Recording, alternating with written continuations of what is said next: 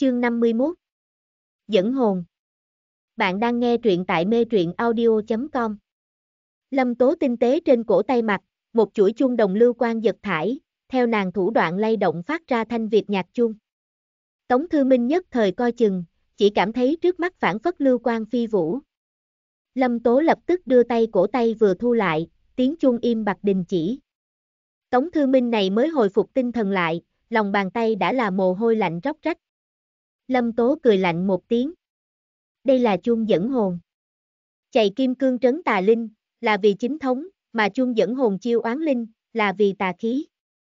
Lúc đó Lâm Tố đã có 13-4 tuổi, đúng là mối tình đầu tuổi. Ngồi cùng bàn là một cái nhỏ gầy thiếu niên, giá một bộ kính đen. Làn da ngâm đen, bóng rổ đáng đánh, người lại rất phản nghịch, tổng ở khóa thượng ngủ. Hoa quý thiếu nữ lâm tố, nội hướng lại thẹn thùng. Tháng tư trong một ngày, mênh mông mưa phùn.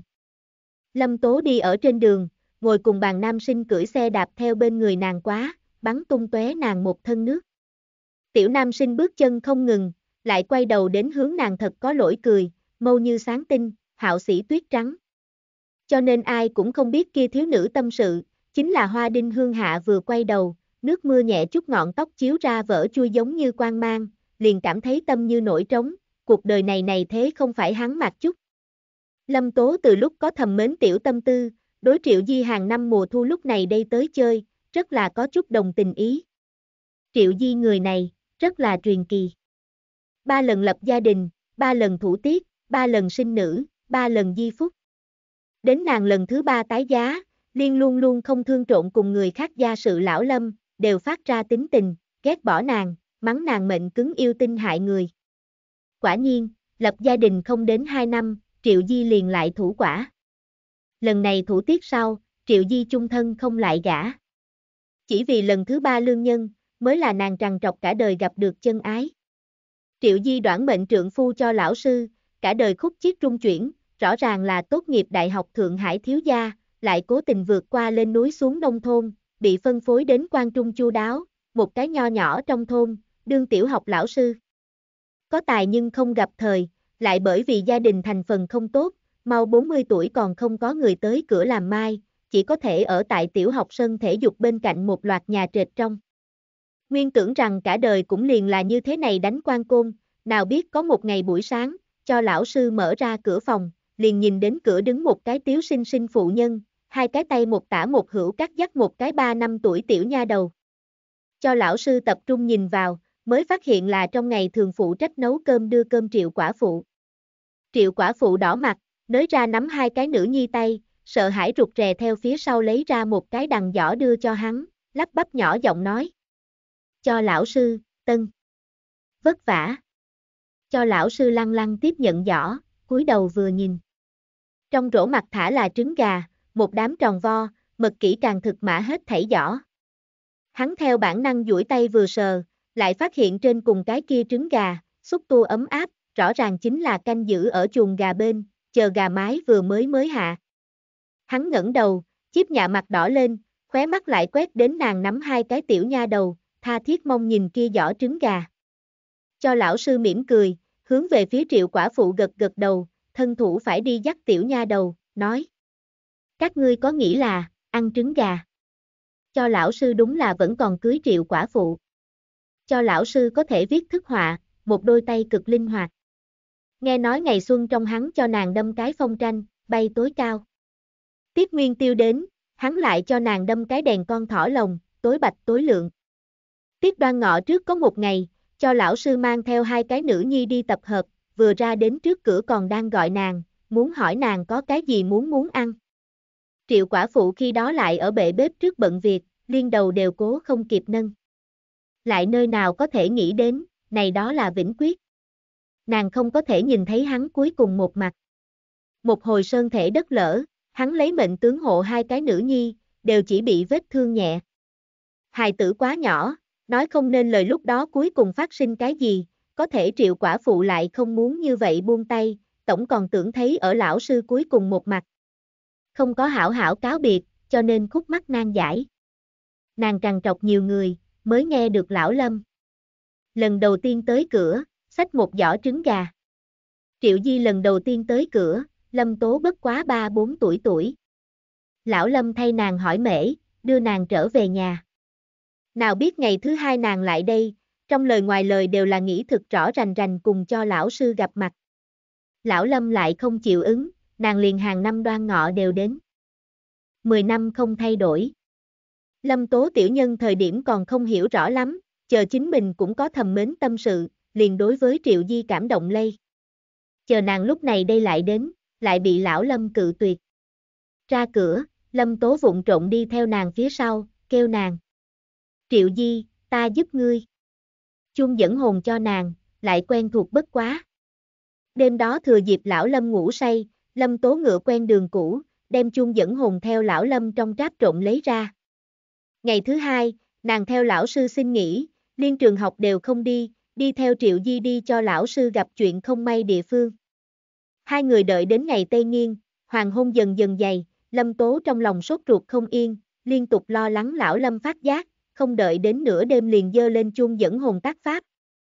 Lúc đó Lâm Tố chính trực phản nghịch kỳ, lão Lâm giáo nàng tác pháp, nàng chưa hiểu rõ hết lại kiêu ngạo tự mãn, một lọ tử bất mãn nửa cái chai lắc lư. Chung dẫn hồn pháp lực cường đại, lão Lâm không cho nàng đụng, lúc này nàng không sợ chút nào, lấy ra lá bùa vàng đến đầu ngón tay vân vê, lại rút một cái liễu cành đem lá bùa vàng chọn ở nhọn thượng, tay trái bóp quyết, tay phải nắm ngư bút lông, thấm đẫm máu trâu, viết xuống cho lão sư ngày sinh tháng đẻ, để vào chung dẫn hồn trung. Thoáng chốc âm phong dần khởi, cành liễu đón gió đông đưa. Lâm Tố không dám ra tiếng, mắt hàm sốt ruột nhìn phía Triệu Di. Triệu Di hiểu ý, Vương tay trên cổ tay treo chuông dẫn hồn, nhẹ nhàng lắc lư. Sương mù dần dần dày, hai người bên người không biết khi nào nhưng lại nhiều ra một loạt liễu rủ, thật dài xa xa một đường kéo dài hướng Tây, nhìn không tới tận cùng. Chỉnh điều sơn đạo như là mê mê mông mông một bức vẫy mực thoải mái họa. Xa xa truyền đến đốc đốc đốc tiếng bước chân, lâm tố ngực kinh hoàng không ngừng, cường làm trấn định, đột nhiên nghe thấy bên người triệu di phát ra nức nức nở nở trên rỉ thanh. Bóng người dần gần, đó là một thân huyết y cho lão sư, trên mặt hoàng thổ huyết nhục đang xen, không chút biểu tình. Triệu Di đợi nhiều năm như vậy, không hề kinh sợ chi tâm, bổ tiến lên đi. Đó là lúc này, cho lão sư trắng thuần gương mặt đại biến, nhưng lại hóa thành một mồm to đầy máu, xanh tím bên cạnh dựng thẳng một vòng màu trắng răng nanh, như là phóng đại mấy lần heo lồng cỏ giống như. Khi heo lồng cỏ thẳng đến Triệu Di mà đến, chỉ chớp mắt, liền nuốt rơi nàng nửa đầu. Lâm Tố lên tiếng thét chói tai, sợ tới mức mất hồn mất vía. Dưới tình thế cấp bách nàng ngược lại còn tồn ba phần lý trí, hiểu biết đi triệu di trên tay bổ chuông dẫn hồn. Heo lồng cỏ kia cho nàng đi, trong miệng vẫn hàm chứa triệu di, lại xoay người hướng nàng chạy tới. Lâm tố thất kinh, quay đầu muốn chạy, kia một loạt liễu rủ lại như có ý thức giống như ào ào vây thượng. Nàng sợ tới mức mặt mũi nước mắt, nhưng vào lúc này, một thanh kiếm gỗ đào lăng không chém xuống, một chút liền đem heo lồng cỏ bổ làm hai nửa. Liễu cành bốn phía, sương mù dần tán, lão Lâm đang đứng ở sơn đạo trung gian, trong tay nắm chày kim cương, mặt mũi lo lắng nhìn Lâm Tố. Lâm Tố oa được khóc thành tiếng đến, nhào vào lão Lâm trong lòng, thúc tha thúc thích nói. Triệu Di, Triệu Di bị ăn luôn. Lão Lâm vỗ nàng lưng, an ủi nàng. Ta đến kịp khi, Triệu Di không có việc gì. Lâm Tố theo hắn trong lòng ngẩng đầu lên, nằm trên mặt đất Triệu Di trên mặt như là bị chó giữ cắn xé quá, tích tích đáp đáp thẳng huyết dọc, trong miệng không được trên rỉ. Chuyện này sau, Lâm Tố tối tâm trầm mặt hồi lâu. Khi năm đoan ngọ, lão Lâm chuỗi đi trò chơi dân gian trở về, đưa cho Lâm Tố một con nho nhỏ sản phẩm trong nước MP3. Ngô, đều nói nữ hoa nhi vui mừng này. Ngươi cao hứng bãi. Lão Lâm chắp tay sau lưng, mắt mỉm cười nhìn nàng. Lâm Tố khóe mắt đau xót, thực xin lỗi ba chữ, lại chậm chạp nói không nên lời. Chung dẫn hồn, có thể dẫn vong hồn không giả, nhưng thế gian này vạn vật, sinh tử đều có định đếm, há có thể từ ngươi tùy ý vọng đến. Ngươi lần này đưa tới, chính là trong hỗn độn còn sót lại chợt lóe oán linh. Lão Lâm khoát tay. Chết sẽ chết, cho lão sư sớm đã không ở thế gian này. Thả không mở, cho tới bây giờ đều không là người chết. Đều là người sống thôi. Lão Lâm nói xong, cầm trong tay kia chuỗi chuông dẫn hồn nhẹ nhàng bộ ở nàng trên cổ tay. Lâm tố trên cổ tay chợt lạnh, theo bản năng liền về phía sau lui, đến cùng vẫn là co rúng lại mở miệng. Này pháp khí quá âm độc, ta không cần. Lão Lâm kiên trì, không cho nàng tháo xuống, nói. Chung dẫn hồn mặc dù không lành, nhưng là là hộ thân pháp khí. Nếu có chút người hại ngươi, nó cũng có thể cho ngươi báo thù. Đạo pháp vô biên, thuật cao đừng dùng. Câu nói này ngươi chi bằng vĩnh viễn nhớ kỹ. Đeo nó lên, coi như cho ngươi đề cái tỉnh. Tống Thư Minh lại nhìn Lâm Tố trên cổ tay chuông dẫn hồn, trong lòng ẩn ẩn sinh ra sợ hãi, hỏi. Tiểu trịnh chuông dẫn hồn, là từ chỗ nào đến? Hắn úy nước mà chết, cùng chuông dẫn hồn có không có quan hệ? Lâm Tố gật gật đầu. Tiểu trịnh trước khi chết xuất hiện ảo giác, liên tục nhìn đến thư tình trước khi mất tích bộ dáng. Hoặc là, là hắn mời người tác pháp đưa tới thư tình oán linh. Tống Thư Minh cười lạnh một tiếng, quả quyết phủ nhận. Không có khả năng. Muội muội chết nửa năm sau, thi công đội mới đến đến. Hai người không có nửa điểm giao tập, lại như thế nào sẽ thay muội muội chiêu hồn? Lâm Tố tiếp nói. Như vậy, chính là thứ hai loại khả năng. Thư tình liên tục đội chuông dẫn hồn, nàng bị hại chết sau, oán linh tập kết cho chuông dẫn hồn thật lâu không tiêu tan. Chuông dẫn hồn đưa tới nếu là thư tình, kia tiểu trịnh trước khi chết nói câu kia bạch y phục lam quần hồng hoa hoa, còn có hiểu biết thích. Nhưng là hắn càng úy nước, lại là cái gì nguyên nhân đâu. Sợ nước, là vì đưa tới là thủy quỷ. Lâm tố khóe miệng thật sâu mân khởi, thư tình, có phải hay không là chết đuối? Tống Thư Minh phủ nhận. Thi kiểm báo cáo trung viết rất rõ ràng, thư tình là ngạt thở bỏ mình, nói cách khác bị người bóp chết. Lâm Tố nói. Có hai loại khả năng, hoặc là, là thi kiểm báo cáo ra sai. Tống Thư Minh quả quyết ra tiếng. Không có khả năng. Lâm Tố yên lặng đồng ý, tiếp tục nói. Như vậy, chung dẫn hồn đưa tới, liền không chỉ có chính là thư tình. Còn có cái thứ hai oán linh, cũng đồng dạng phụ thân cho chung dẫn hồn thượng. Lâm Tố quay đầu đến, hỏi Tống Thư Minh. Thư tình có nhận biết hay không thức người nào, chết đuối mà chết. Tống Thư Minh sửng sốt, nhắm mắt lại hồi ức hồi lâu, đáp. Không có, cho tới bây giờ không từng nghe nói qua. Hắn mở to mắt, đứng lên qua lại đi, vừa đi vừa thì thầm. Thân thích, bằng hữu, đồng học, lão sư, chưa từng có nghe nói qua. Liền ngay cả ngoài ý muốn qua đời, đều chỉ có một vị. Tống Thư Minh nói. Lâm Tố vội vàng truy vấn. Là ai? Tống Thư Minh dẫn theo hai phân kinh ngạc, đáp. Này tuyệt đối không có khả năng. Thư tình trung học chủ nhiệm lớp, Lưu Lão Sư. Trượng phu của nàng ở thư tình qua đời trước một năm, tai nạn xe cộ bỏ mình. Chương 52 Tình thâm Bạn đang nghe truyện tại mê truyện audio.com Khi tràn tai nạn xe cộ, Tống Thư Minh ký ức hãy còn mới mẻ. Gặp chuyện không may sau, hắn còn từng mang theo muội muội tới cửa phúng viếng. Thư tình viết văn xuất sắc, Lưu lão sư cũng là chủ nhiệm lớp, lại kiêm nhiệm ngữ văn lão sư, nhất quán đối muội muội rất là trân trọng. Tống Thư Minh còn nhớ rõ lúc đó Lưu lão sư ngơ ngác ngồi ở trên sofa, người mang lục giáp, mê mang lại tuyệt vọng bộ dáng. Hắn khi đó trong lòng còn hạ định chủ ý, năng lực trong phạm vi nên thường xuyên thăm nàng, nào biết không lâu sau thư tình gặp chuyện không may, hắn cũng lại vô tâm tư thương nhớ khác. Lúc này hồi ức chuyện xưa, một ít chưa bao giờ chú ý quá chi tiết dần dần nổi lên trước mắt. Tống Thư Minh ngược lại hấp một hơi. Gặp chuyện không may đêm đó, cũng là mưa to. Hắn theo khách sạn phòng ghế tựa đứng lên, càng phiền chán đứng lên. Hắn càng là suy xét, càng là cảm thấy thư tình mất tích đêm đó, cùng lưu lão sư trượng phu Chu Thanh tai nạn xe cổ ban đêm, có thiên ti vạn lũ liên hệ. Đều là thình lình xảy ra mưa to, hơn nữa đều là khoảng 9 giờ đêm. Tống Thư Minh ngực đập bịch bịch, có cái gì rõ ràng sự tình miêu tả sinh động, hắn suy nghĩ lại muốn, nỗ lực tìm tòi trong đầu ào ào loạn loạn tin tức, bỗng nhiên bừng tỉnh đại ngộ. Lưu lão sư gia ở thành Tây, cùng ta gia cách xa nhau không xa. Nàng trượng phu Chu Thanh phát sinh tai nạn xe cộ kia một đoạn đường, thư tình mỗi ngày đến trường đều sẽ trải qua. Nếu như, nếu như hai người là ở cùng một chỗ gặp chuyện không may đâu. Tống Thư Minh hô to ra tiếng.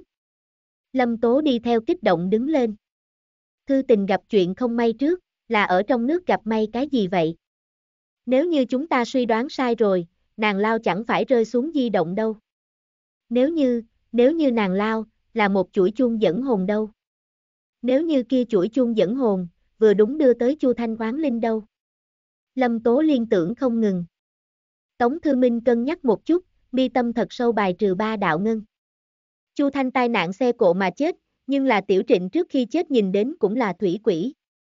Chung dẫn hồn đưa tới cái thứ nhất quán linh, khẳng định là thư tình, cũng chính là tiểu trịnh trong miệng bạch y phục lam quần hồng hoa hoa. Chung dẫn hồn đưa tới cái thứ hai oán linh, cũng là thủy quỷ. Chu Thanh là tai nạn xe cộ bỏ mình. Cái thứ hai oán linh, đến cùng có phải hay không Chu Thanh đâu.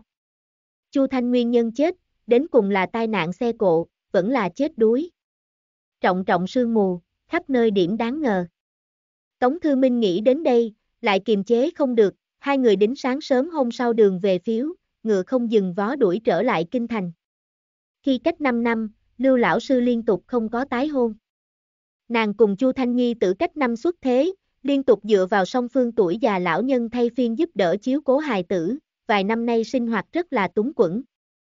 Tống Thư Minh mang theo Lâm Tố, dưới xe lửa thẳng đến Lưu lão sư trong nhà. Đúng gặp kỳ nghỉ hè, không biết Lưu lão sư hay không ở nhà. Tống Thư Minh lòng nóng như lửa đốt, trên người ngắn tay cổ áo cùng nách đều bị mồ hôi ẩm thành một phiến. Lâm Tố trong lòng biết lúc này ngôn ngữ an ủi đều là dư thừa, chỉ yên lặng mở một bình nước đưa cho hắn. Cách một trận, cửa mở một cái tiểu khe, Tống Thư Minh cúi đầu vừa thấy, là một cái 4 năm tuổi tiểu nam hài, khiếp sinh sinh nhìn hắn nói. Ngươi tìm ai? Lâm Tố đẩy ra Tống Thư Minh, ngồi xổm xuống đến hướng về phía tiểu nam hài mỉm cười, nói. Ta tìm Lưu Thục Quyên, Lưu Lão Sư. Tiểu nam hài vẫn là đầy mắt cảnh giác, nải thanh nải khí hồi nàng. Mụ mụ mua đồ ăn đi, không ở nhà. Lưu Lão Sư nơi nào là thật đi mua đồ ăn. Trượng phu về phía sau kinh tế áp lực chợt tăng đại, nàng thừa dịp kỳ nghỉ hè thời điểm ngược gây, vụng trộn ở ngoài trường phụ đạo cơ cấu mang học bổ túc ban. Chu niệm tiểu tiểu nhân nhi, rất là biết chuyện, đem lâm tố cùng Tống Thư Minh nên tiếng ra đến, còn ngã hai chén nước. Nếu như không là lâm tố thân thủ ngăn lại, hắn còn trang mô tác dạng muốn đi thiết hoa quả mời bọn họ ăn. Lâm tố trong lòng yên lặng cảm khái, khó trách Tống Thư Minh không chịu tin tưởng thư tình mất tích cùng Chu Thanh có quan hệ. Chu niệm gia giáo rất tốt, vừa thấy đó là lưu lão sư tỉ mỉ giáo dục duyên cớ. Chu niệm 4 năm tuổi tiểu nhi, đều biết cầm trong nhà hoa quả chiêu đãi khách nhân. Nàng cùng Tống Thư Minh hai người mang theo hoa quả đến tiểu trịnh gia bái phỏng thời điểm, lại không gặp trịnh A-di đề cập qua nửa câu mời nước ăn quả. Lâm Tố có chút đau lòng chu niệm, ngồi xổm xuống đến xem thường lời nói nhỏ nhẹ chọc hắn nói chuyện. Hai người ngươi ngôn ta ngữ có qua có lại khoảng 10 phút, nghe được chìa khóa mở cửa thanh âm. Lưu lão sư, về nhà. Tống Thư Minh năm đó cùng Thư Tình đến Lưu lão sư trong nhà phúng viếng, cùng nàng bất quá là gặp mặt một lần, cũng không trông cậy vào quá 5 năm thời gian trôi qua nàng còn có thể nhớ được hắn. Hắn ở trên xe lửa còn tưởng hảo một phen lý do thoái thác tự giới thiệu, giải thích ý đồ đến. Lưu lão sư đẩy ra gia môn, chợt vừa thấy về nhà trung trên sofa ngồi hai người, chấn động. Nàng vừa định mở miệng nói chuyện, ánh mắt đảo qua Tống Thư Minh, chớp mắt liền trắng gò má, môi run run lại nói không nên lời một câu nói. Tống Thư Minh xem nàng sắc mặt đã biết sự tình khác thường, sắc mặt sắc hàng, hai bước khóa đến lưu lão sư trước mặt. Lâm Tố lại thương nhớ Chu Niệm liền ở bên cạnh, thân thủ giữ chặt hắn, lại hướng về phía lưu lão sư nhẹ nhàng lắc lắc thủ đoạn, trên cổ tay chính mình kia chuỗi chuông dẫn hồn len ken rung động. Nàng hạ giọng nói. Lưu lão sư có nhận biết hay không thức, đây là cái gì? Tiểu trịnh chuông dẫn hồn, tự nhiên còn cung phụng ở hắn di ảnh trước. Lâm Tố chính là nghĩ cầm tự bản thân chuỗi chuông dẫn hồn, trá lưu lão sư một trá. Nào biết lưu lão sư nhìn đến chuông dẫn hồn, nguyên bản trắng bệch sắc mặt lập tức trướng như heo can giống như, trên đầu đại giọt đại giọt mồ hôi lạnh chảy ra. Nàng định nhất định thần, ra vẻ vô sự, phân phó chu niệm trở về phòng làm bài tập.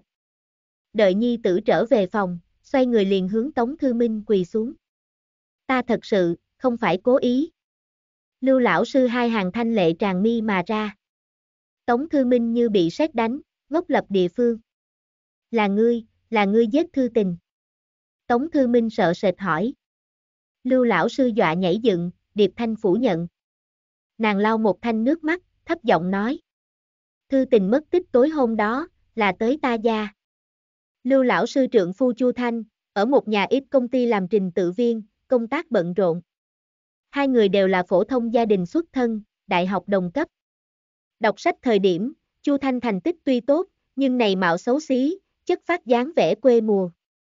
Thục Quyên cùng hắn cùng trường 4 năm, tuy rằng đã sớm loáng thoáng thấy ra hắn đã sớm vui mừng nàng, nhưng vẫn đối hắn cầu tốt cùng ái mộ bảo trì khoảng cách. Chu Thanh ngược lại cũng không nổi giận, bốn năm thủy chung như một.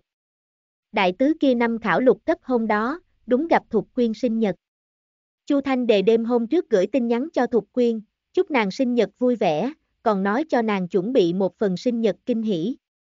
Thục Quyên chỉ đương bất quá là hoa hồng cùng tiểu lễ vật, nhiều nhất chính là Chu Thanh muốn mời nàng một bữa cơm. Nàng lời nói dịu dàng tướng cự, gặp Chu Thanh không lại hồi phục, cũng liền lơ đến sớm ngủ. Trường học đem lục cấp tiếng Anh trường thi đặt ở tân giáo khu, cách các nàng sở tại lão giáo khu có hơn 20 km xa. Thục quyên thi xong thử ra trường thi, một mắt liền trông thấy chờ trường thi bên Chu Thanh. Trong đất dáng vẽ quê mùa trang điểm, màu trắng dày chơi bóng hiện ra hắt, trước sau như một chất phát bộ dáng. Chu Thanh xa xa trông thấy Thục Quyên, ánh mắt một chút sáng lên đến, hướng nàng phất phất tay. Thục Quyên ngượng ngùng làm bộ như không phát hiện, đã đi tới, này mới phát hiện hắn trong tay nhấc lên một cái màu xám cách ôm túi. Chu Thanh đem cái túi mở ra, tràn màu trắng sương lạnh. Hắn hướng nàng cười cười, theo bên trong lấy ra nửa băng bành quá dưa hấu, nói. Khát nước rồi. Tháng 6 thiên trong, hắn kỵ xe cưỡi hơn 20 km, mồ hôi đầy đầu chờ ở trường thi bên, cũng chỉ vì đưa nàng nửa ướp lạnh dưa hấu.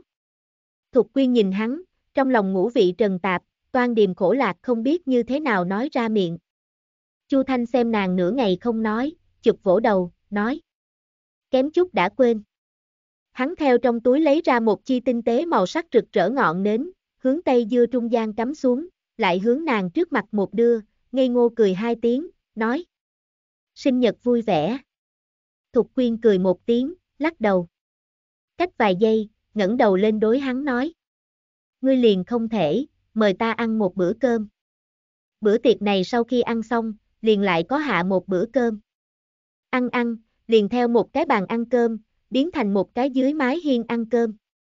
Hai người tốt nghiệp hai năm sau kết hôn, ấn vén mua xuống một bộ tiểu phòng ở cách hai năm, lại mua một chiếc xe. Cuộc sống quá được hồng náo nhiệt lửa phát triển không ngừng. Hôm sau 6 năm, Thục Quyên mang thai. Chu Thanh nhận thầu trong nhà sở hữu việc nhà, mỗi đêm chạy về gia vội tới nàng nấu cơm. Gặp chuyện không may tối hôm đó, kinh thành mưa to. Chính trực hạng mục xác định và đánh giá mấu chốt thời kỳ, Chu Thanh liên tiếp tăng ca, trong lòng phiền muộn. Một tòa mấy ngàn vạn nhân miệng thành thị rộn ràng nhốn nháo đèn đuốc huy hoàng, đều cùng hắn không quan hệ. Chỉ có trong nhà quất đèn nửa chén, dưới đèn ngồi nàng làm bạn 10 năm dựng thê, mới là trong lòng duy nhất bận tâm. Phổ thông tiền lương giai tầng, luôn có như vậy như vậy bất đắc dĩ, phòng cho vay trong người, xe cho vay muốn hoàn, thượng có bốn vị lão nhân, hạ có chưa sinh ra hài tử. Ái thê có thai, nếu như có thể, lại làm sao có thể lựa chọn tại như vậy một cái mưa to ban đêm tăng ca. Cũng may hơn 8 giờ đêm, sự tình cuối cùng xử lý hoàn, Chu Thanh thu thập xong đồ vật, vội vội vàng vàng lái xe về nhà. Hắn tự tây hướng đông mở, trên đường xe cũng không tưởng tượng trung nhiều, sắp về nhà một cái ngã tư đường, chờ đèn đỏ khoảng cách, Chu Thanh cho thê tử phát ra cái tin nhắn. Nghĩ tốt lắm hài tử tên, về nhà đến cùng ngươi nói. Thục Quyên nhìn tin nhắn, ý cười nổi lên, trong lòng mật giống như tươi ngọt. Có thể nàng cũng rốt cuộc không có thể đợi đến trượng phu Chu Thanh về nhà, nói cho nàng hài tử tên. Đèn đỏ chuyển lục, Chu Thanh một cước chân ga. Hắn nóng vội về nhà, tốc độ xe nhanh dần. Màn mưa càng đại, đối diện đến một chiếc trang đầy ống tuyết đại xe tải, vi quy vượt qua chiếm dụng làng xe. Chu Thanh theo bản năng hướng phải đánh tay lái né tránh, đụng vào ven đường chất đống xi măng ống dẫn.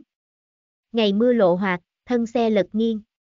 Mã hai bên đường, dưới đất quảng hành lang đang ở thi công, đào một loạt hai thước sâu đại câu, mưa to như chú, câu trung tích đầy nước mưa. Chu Thanh va chạm lật xe lúc đó, an toàn khí nang bắn ra, hắn một đầu đánh lên ngất đi qua. Thân xe va chạm sau lật nghiêng vào nước câu, toa xe nội nhanh chóng nước vào. Mà ngất trung Chu Thanh, không có có thể đào thoát, bị chết đuối ở trong xe. Cho nên, ngươi phải đi tìm chung dẫn hồn. Lâm Tố hỏi Lưu Lão Sư. Lưu Lão Sư lấy lệ tẩy mặt, nghẹn ngào nói. Ta chính là muốn hỏi một chút, tối hôm đó, hắn đến cùng cho hài tử lấy tên là gì? Chu Thanh về phía sau, Lưu Lão Sư thật lâu không thể giải thoát. Nhi tử sinh ra sau thượng hộ khẩu, nàng lại chậm chạp vô pháp định ra tên, đem trượng phu cuối cùng một khắc phát cho của nàng kia cái tin nhắn lăn qua lộn lại xem. Sau này, liền cũng nhờ người đi tìm chút linh môi, hỏi mễ cũng có, trên thân cũng có, lại cái nào đều không có thể nhường Lưu Thục Quyên vừa lòng. Đều là gạt người ngoạn ý. Lưu lão sư chính là thương tâm, không là mất trí, giả thần giả quỷ lừa dối nàng, nàng cũng không mắc mưu.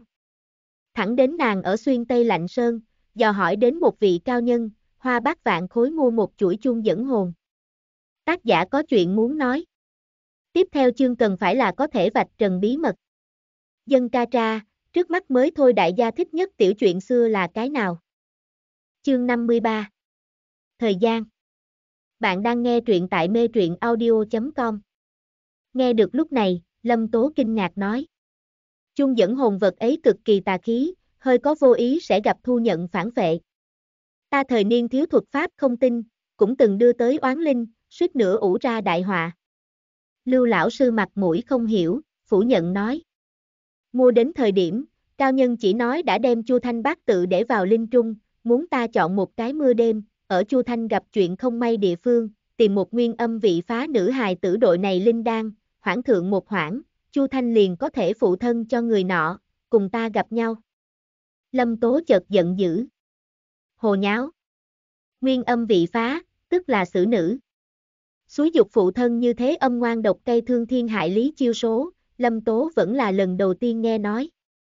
Nàng tức giận hừng hực quay đầu, đã thấy lưu lão sư phản phất bị kinh con thỏ dường như bàn hoàng thất thố, nhất thời chỉ cảm thấy nàng đáng thương lại thật giận.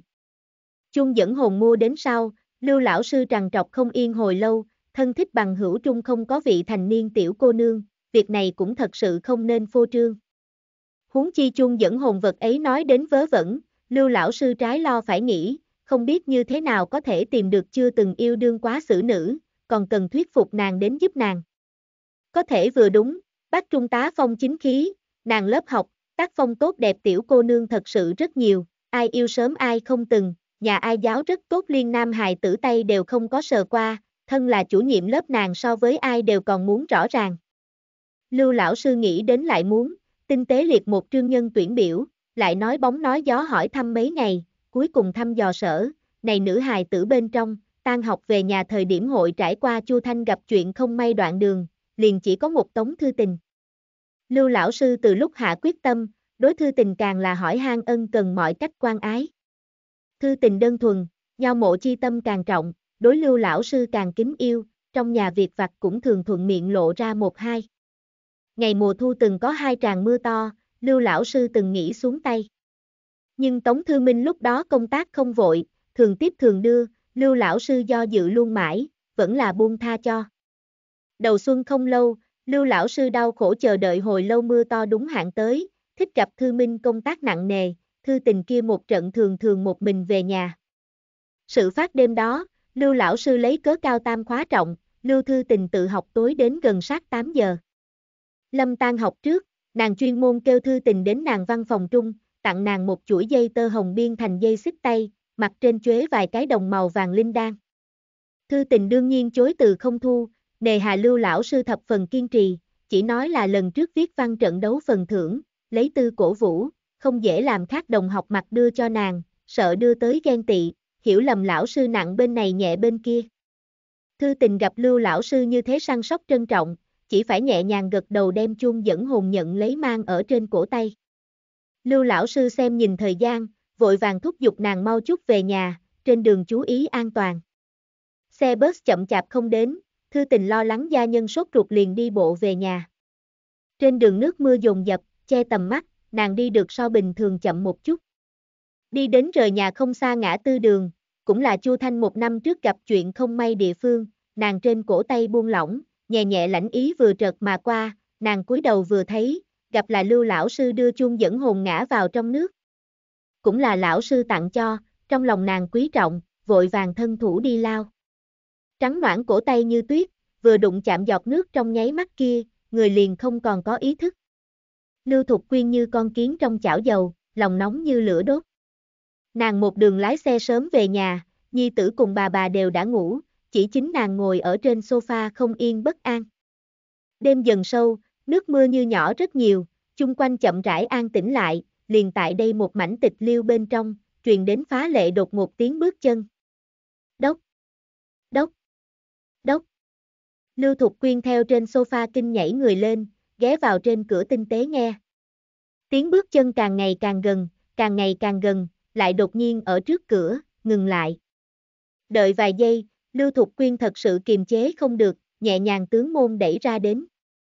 Chỉ thấy cửa rõ ràng đó là trắng bệt một khuôn mặt tống thư tình, toàn thân ướt đẫm, ngọn tóc cùng ống tay áo tích tích đáp đáp không ngừng đi xuống rơi xuống giọt nước mưa, trừng mắt hai cái vô thần mắt to châu, mặt không biểu cảm nhìn nàng. Lưu Thục Quyên sinh sôi đem thét chói tai áp chế, run run rẩy rẩy đối với thư tình nói. Chu, Chu Thanh. Là ngươi sao? Thư tình lại một lời không nói, vẫn là lăng lăng nhìn nàng, nửa ngày, nhưng lại mắt nhắm lại bổ ngã xuống đất. Lưu Thục Quyên liên bước lên phía trước, vội vàng kêu gọi lại không thấy, thư tình, tỉnh lại. Nàng không biết như thế nào cho phải, lại sợ hàng xóm trải qua trông thấy, chỉ có thể đem thư tình đỡ vào phòng gian.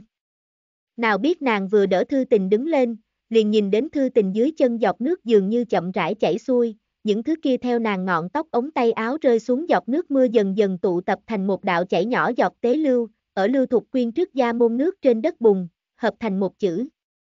Đọc. Chu Thanh trở về nhà, nói với ta nhi tử tên gọi làm đọc, ta mới cho nhi tử lấy chu niệm tên này. Lưu lão sư quỳ gối Tống Thư Minh trước mặt, than thở khóc lóc, ta chỉ muốn biết, hắn đến cùng cho nhi tử lấy tên là gì. Ta thật không ngờ, sau này thư tình hội không thấy. Tống Thư Minh xanh mét một khuôn mặt, bình tĩnh đứng lại, gắt gao nhìn chầm chầm lưu lão sư, làm như dùng hết toàn thân khí lực đè nén trong lòng tức giận. Lâm Tố thở dài một hơi, ẩn ẩn đối lưu lão sư nói. Người chết như đèn diệt, chết sau không còn nửa sinh. Hồn phách thất thất sau, đã không ở này dương thế chi gian, ngươi đêm đó nhìn thấy chẳng phải ngươi trượng phu Chu Thanh, mà là độc linh. Hồn có thất linh, đau, oán, độc, hối, si, hận, điên. Người ở trên đời này cuối cùng chợt lóe tình ý vì sao, là đau vẫn là oán, là độc vẫn là hối, hoặc si hận điên. Đến khi thân không một vật, chỉ biết lên tiếng khóc lớn, đợi cho đi khi, qua lại đủ loại trôi đi như yên, chỉ có kia cuối cùng một khắc tâm tình chậm chạp không tiêu tan, bồi hồi thế gian, dần già liền tụ kết thành linh. Triệu Di lão công cho lão sư cả đời thất bại, 40 tuổi thượng mới rốt cuộc cưới nàng dâu có hài tử, lại ở mang theo kế nữ tập hợp thời điểm gặp gỡ ngoài ý muốn, tắt thở phía trước cuối cùng một khắc, lòng tràn đầy đều là oán. Triệu Di tay mang chuông dẫn hồn, lâm tố tác pháp đưa tới, chính là oán linh.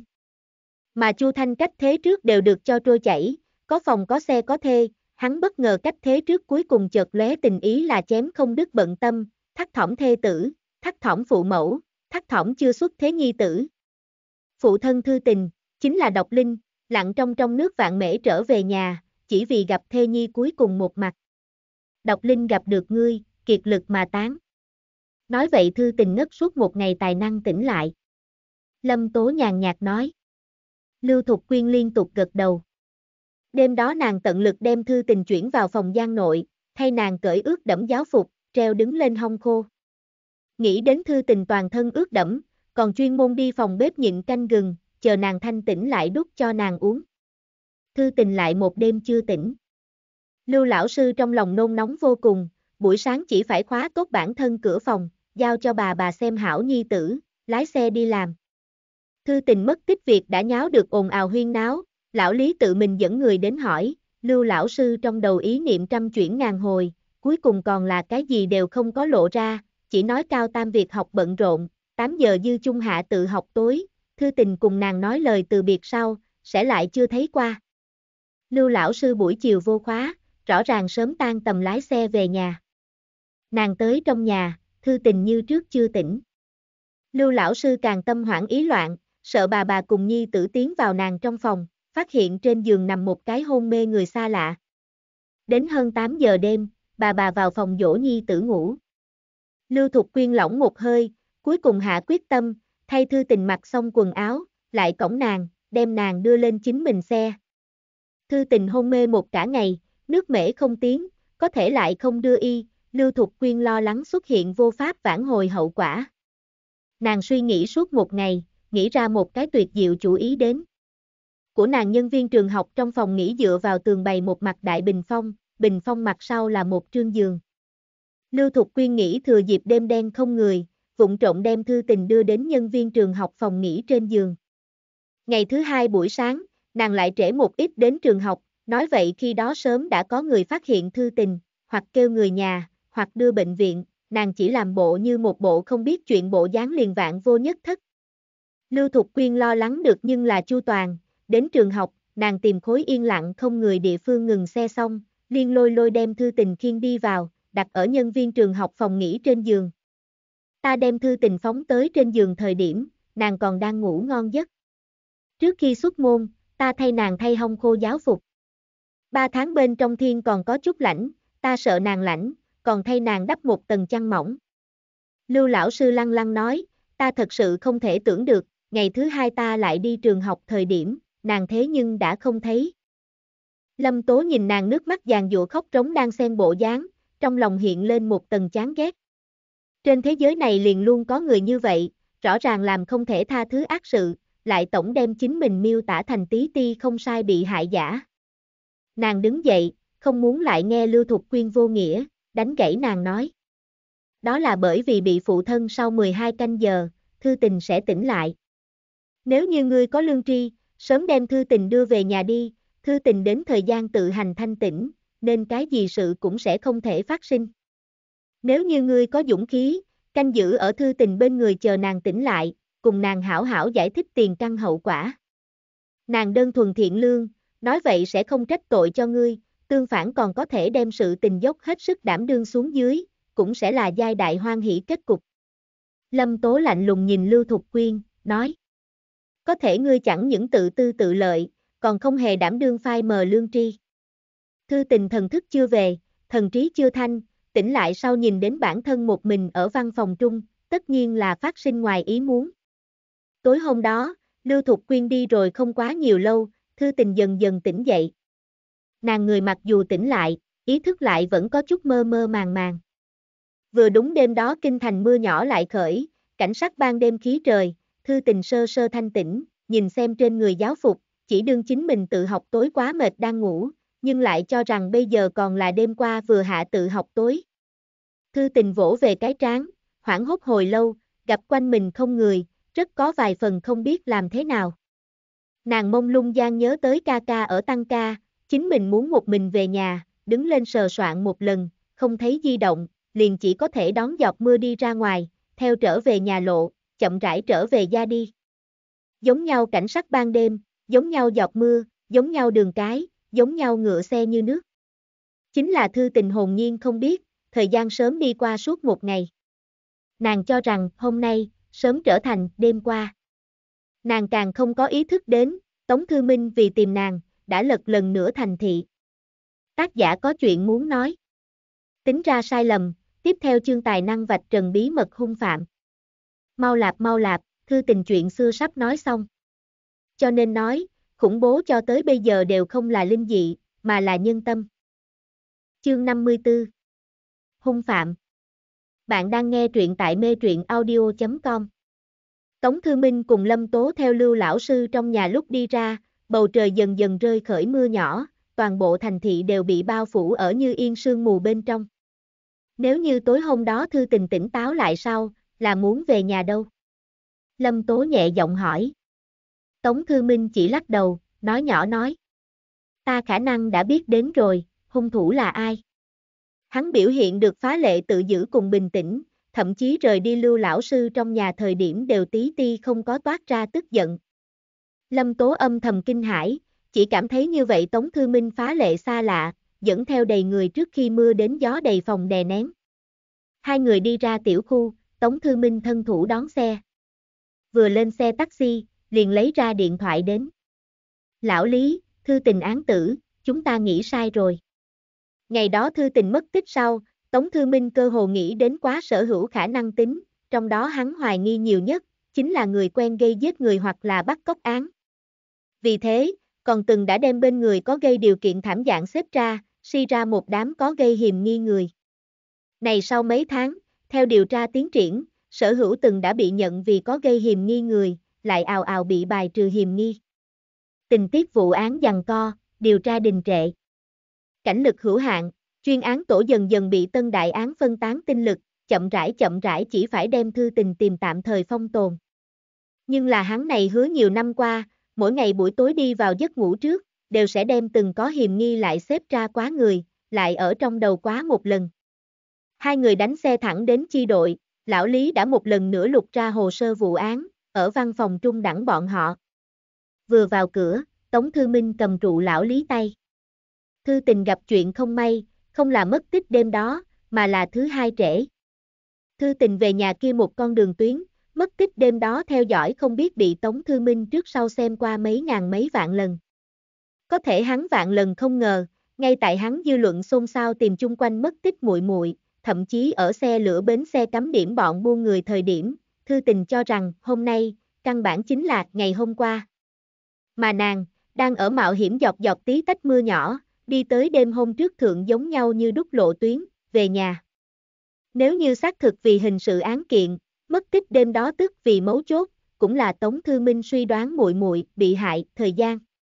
Có thể trên thực tế, Thư Tình vừa vặn không là đêm đó bị hại, mà là ngày thứ hai.